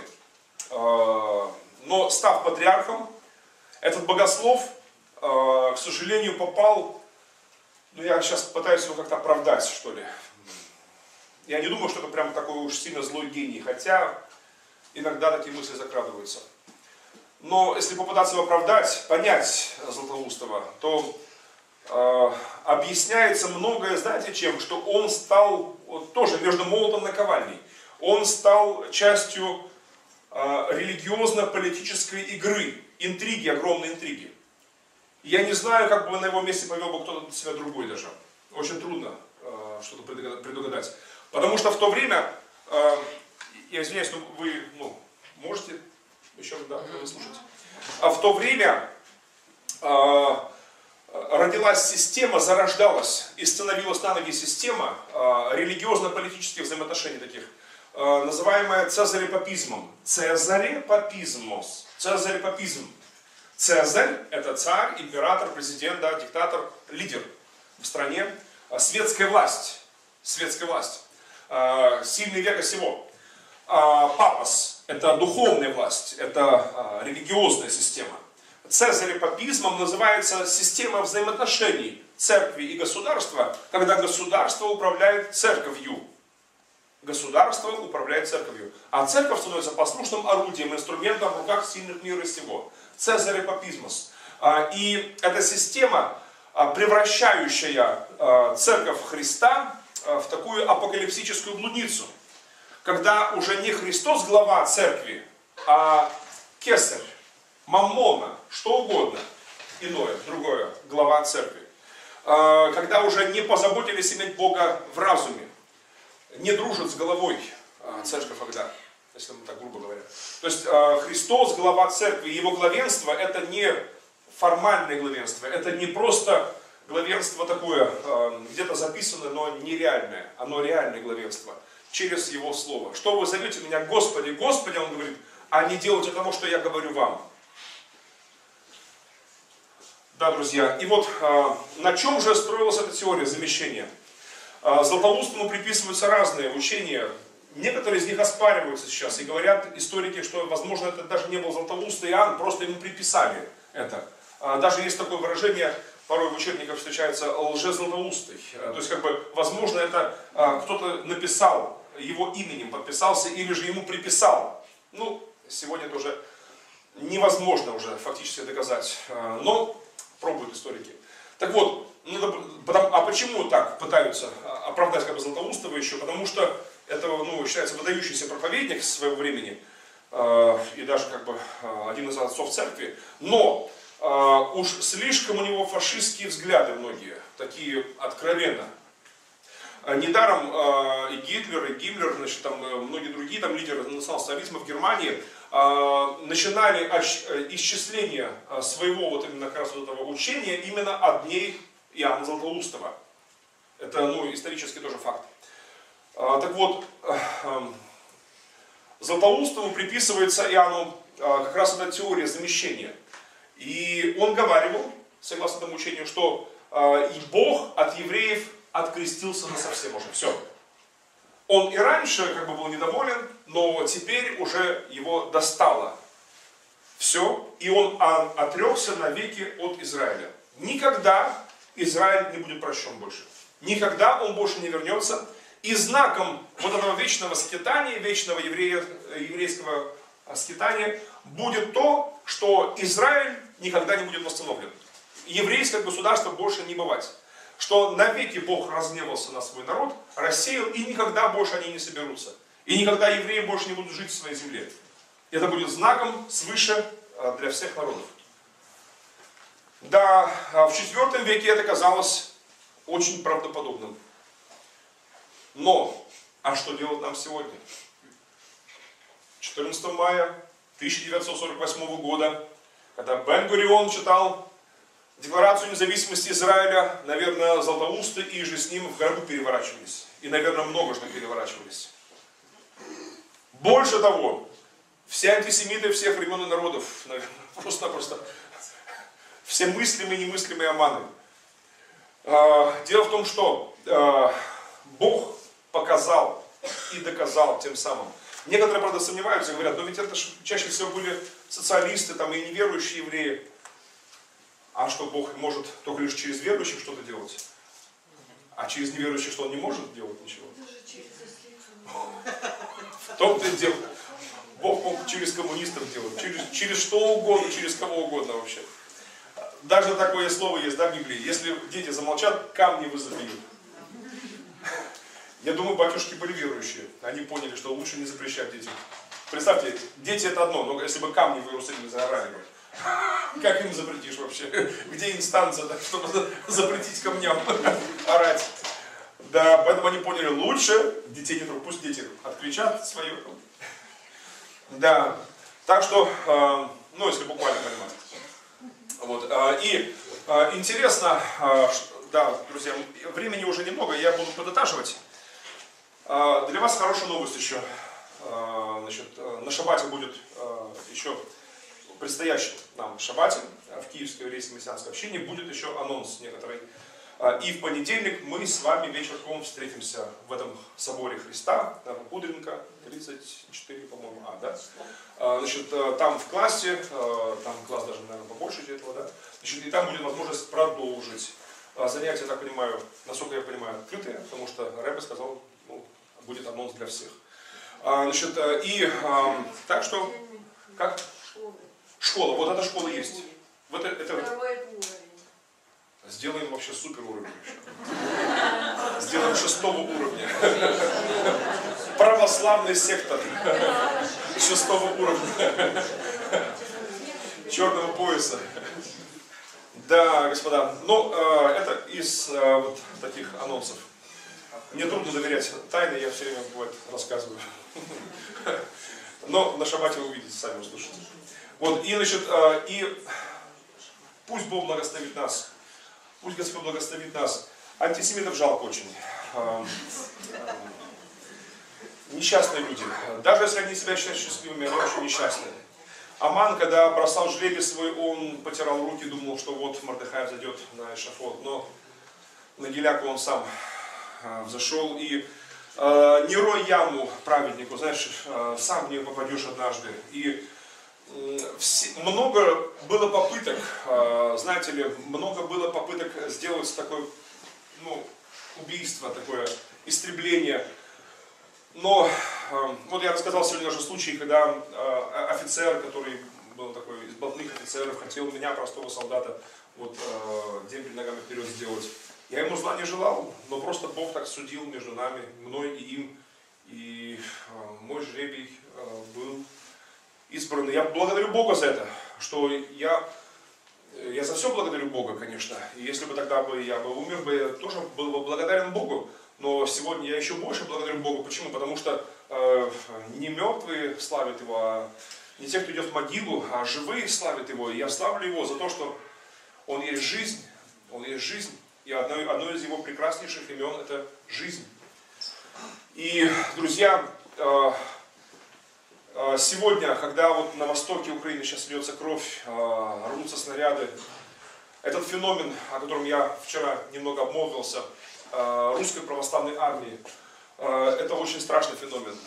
И вчера то, что Рэма вспомнил, помните, из Бичевской, Жанна Бичевской, эту песню, значит, такую ура-патриотическую песню, что вот мы вернем себе Крым, а потом и возьмем Иерусалим. Это не просто песня красивая, к сожалению, во многих э, православных таких э, патриотических изданиях об этом говорилось еще в начале 90-х очень подробно. Но я вынужден разочаровать господ антисемитов. Чем? Что их пророчество строит, строится на ложных пророчествах, на ложных откровениях. Знаете ли, до 1948 года антисемитам еще можно было как-то иметь оправдание какое-то определенное. После 1948 никакого нет оправдания антисемитам. Потому что их учение строилось на этом ложном пророчестве. Оно оказалось ложным. Израиль возвращен. Люди возвращаются. Израиль восстанавливается. Это на наших глазах. Это чудо. Хотя политологи западные, многие американские, ведущие политологи говорили в 48 же году, в мае говорили, что это государство однодневка. Недели, месяцы в лучшем случае, но даже не годы прогнозировали Израилю. Но и сразу война началась, мы знаем, да? И не одна, серия войн. Но все эти войны что делали? Лишь Израиль крепчал. Лишь Израиль крепчал, как вот те цадики многие, которые объясняли, есть разные объяснения, почему на пасхальном нашем седере, э, пасхальном э, столе э, вареное яйцо, да, э, вкрутое, ну не писанка, да, просто яйцо. Э, Почему такие, почему? Ну, Разные есть объяснения, там это сердце, там окаменело, там и прочее. Ну, э, мне это не нравится. Мне нравится другое объяснение, очень классное. А, Значит, а, что а, яйцо, если оно просто сырое яйцо, да, это, это сопли. Вот его, если разобьешь, там, ну что, ну, оно само по себе, только из-за скорлупы оно хранит форму свою. Но когда оно начинает вариться, то совершается чудо. Ну, смяточка, а потом круток. И если мы его очищаем, оно цельную форму держит. Вот Израиль также, когда он проварен, говорит народ Божий, проварен в испытаниях различных, а, он становится а, крепким. И внутри него желточек, это как бы Эммануэль, а, вот это вот как раз древняя мечта. Есть американская мечта, есть древняя еврейская мечта. Она выражена Эммануэль. В нас Бог. И знаете, друзья, как бы нас не варили, не пробовали варить, мы из сопливых христиан становимся крутыми христианами. Это радует. Или, по крайней мере, с пяточкой. Ну, тоже ничего. Походочку. Но лучше, конечно, круток. Лучше крутой. Так что, господа, а еще напоследок расскажу. А, Иешуа как говорил, кто будет веровать в меня и креститься, спасен будет. Да? А кто не будет веровать, осужден будет. Конечно, здесь говорится о крещении, а, понимаем, да? Не о крестном знамении, там, не о чем-то еще, а погружении в воду, твила, да, мы называем ее часто в общинах. А, значит, а, погружение по вере в Иешуа, в Иисуса, как в Христа своего, Спасителя своего, Господа своего, Искупителя своего. Но здесь говорится не только о водном крещении. Здесь слово баптизо, стоит баптизо, которое а, во времена Нового Завета звучало не просто как погружение, а погружение и пребывание в нем непрестанное. Потому что в современном греческом, любой словарь откройте, если я поскачивал словари, а, значит, а, новый греческий словарь, да, баптизо, просто окунание, погружание, окунание. Окунул, все. А во времена Нового Завета оказывается по-другому. Номера Стронга откройте, не поленитесь, вы ахнете. А вообще, оказывается, это слово оно использовалось, это не было ну, нововведением. Это слово уже использовалось в греческой античной литературе до нашей эры. Лет за 200, даже больше, мне кажется, сейчас не помню точно. Ну, за 200 точно, во времена вот, э, всех этих вот э, маковейских войн это уже было слово, используемое греческое. И представьте, до Нового Завета это слово использовалось исключительно в описании кулинарных рецептов. Из кулинарии. О вкусной и здоровой пище. в Новый Завет перекочевало слово баптизо. И баптизо а, а, в описании соления огурцов всегда использовалось фактически. Много источников есть об этом, античных, греческих, эллинистических. Все любите соленые огурчики? Так вот, в чем отличие огурца свежего от баптистского огурца? В чем отличие? А, господа? Вы знаете, что такое малосол? Малосол, да? Все любите малосольные огурчики? Я так не очень. Я люблю либо свежий, либо уже соленый. Вот еще, но многие любители малосола. Вот, ну, есть свой вкус, конечно, в малосоле. Но малосол лишь на, на шкурке соль чуть-чуть. Да? Значит, он, внутри он, он свежак, свежий. Оказывается, малосол греки не называли баптистским огурцом. Баптизу не относилось к малосолу, а только лишь к тому, кто имеет соль в себе уже. Не просто на шкурке, а в себе соль имеет. Имейте соль в себе. Поэтому товарищи огурцы. Слава Богу, Бог нас сорвал с грядки. Из грядки в катки. Кому-то повезло, кто-то попал в хороший рассол, а кто-то так не пойми что. Ой, а, да, да, да. А кто-то попал в такие а, банки, где как бы уже ну, больше сопливые огурцы такие, знаете, вот как бы, ну, э, вроде бы они размокшие, вроде там, ну, вкуса никакого, ни запаха, вот выкинуть вроде как жалко, э, но и есть не будешь их вообще. Вот, вот есть такие конфессии, куда лучше не попадать вообще э, после грядки. Лучше оставаться на грядке даже, чем попасть в такие банки. Это вот я по опыту знаю, своему уже. Вот еще, ну а есть такие конфессии, деноминации, такие поместные общины, куда попадаешь, там такая соль, там и чесночок, там и перчик, там и... А вы знаете, что сейчас укроп а, приравнен а, к чесноку и к а, серебряным пулям и осиновым колышкам в борьбе с нечистой силой? Есть такое выражение «укропляем». Побольше святой воды берешь, берешь пучок большой укропа и укропляешь. Так что, товарищи огурчики, давайте в баночке. И больше того, больше того, оказывается, баптизо, баптистский огурец, это тот, который лежит там и не всплывает. Да, без комментариев, ладно. В следующий раз расскажу о тухлых огурцах и о хороших огурцах. Вот, но Бог дает возможность всем нам покаяться и иметь соль в себе. А, поэтому давайте погружаться, просаливаться им. И а, в Библии, в Слове Его есть все вот эти вот элементы, да, в Его Духе Святом есть все вот эти элементы, все эти чесночки, и укропчики, там, значит, там, и перчики, и все, все, все, все, все, и соль вся, а, и иметь соль в себе, Его Дух. От наших братьев, что в мире, мы только лишь по виду схожи, но не тоже, совсем и запах, и вкус, и хруст, и вообще другие совсем, потому что просолились его солью. Давайте просаливаться его солью. А, и для этого нельзя, чтобы вот окунулся, выкунулся, да, это малосол только получится, и вообще и пропадет только вообще все это дело. Вот, а, и пусть Господь нас держит так. Спасибо, Господь. Благодарю Тебя за моих братьев и сестер. Господь, за то, что Ты всех нас сорвал с грядки, и поместил в свои катки. И пусть Твоя соль будет в нас.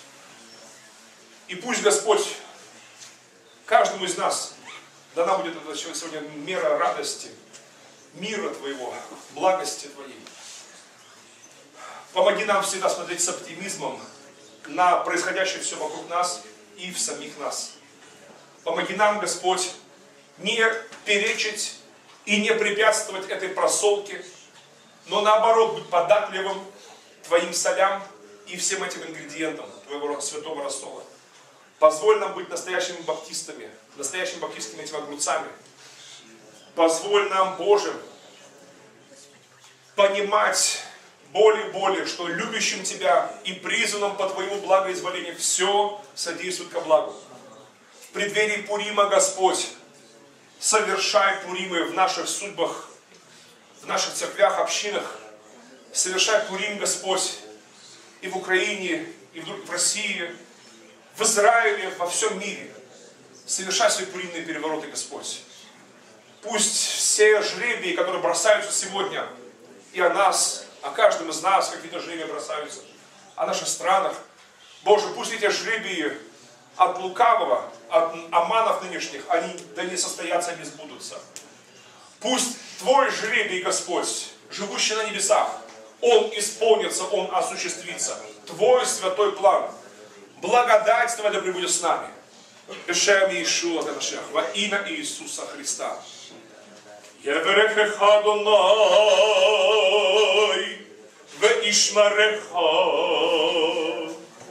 יהר אדוני פניו אליך ויחונך и со мной панав элейха, веяселеха шалом. Да благословит тебя Господь и сохранит тебя. Да призрит на тебя Господь светом лицом своим и помилуй тебя. Да обратит Господь лицо свое на тебя и даст тебе мир. Бешем Иешуа Ганашах, Иешуа Машихейну, во имя Иисуса Христа, Мессии. Амин. Бог Авраама, Исаака и Якова, благодать Твоя прибудет с нами. Благослови всех нас, распусти с миром, и пусть Твой шалом будет в наших сердцах. Господь, хотя тьма эту землю покрывает, но в наших сердцах, но в жилищах народа Твоего да будет Твой свет, который никакая тьма не погасит, но который прогоняет всякую тьму во имя Иисуса. Аминь. Аминь. По шатрам.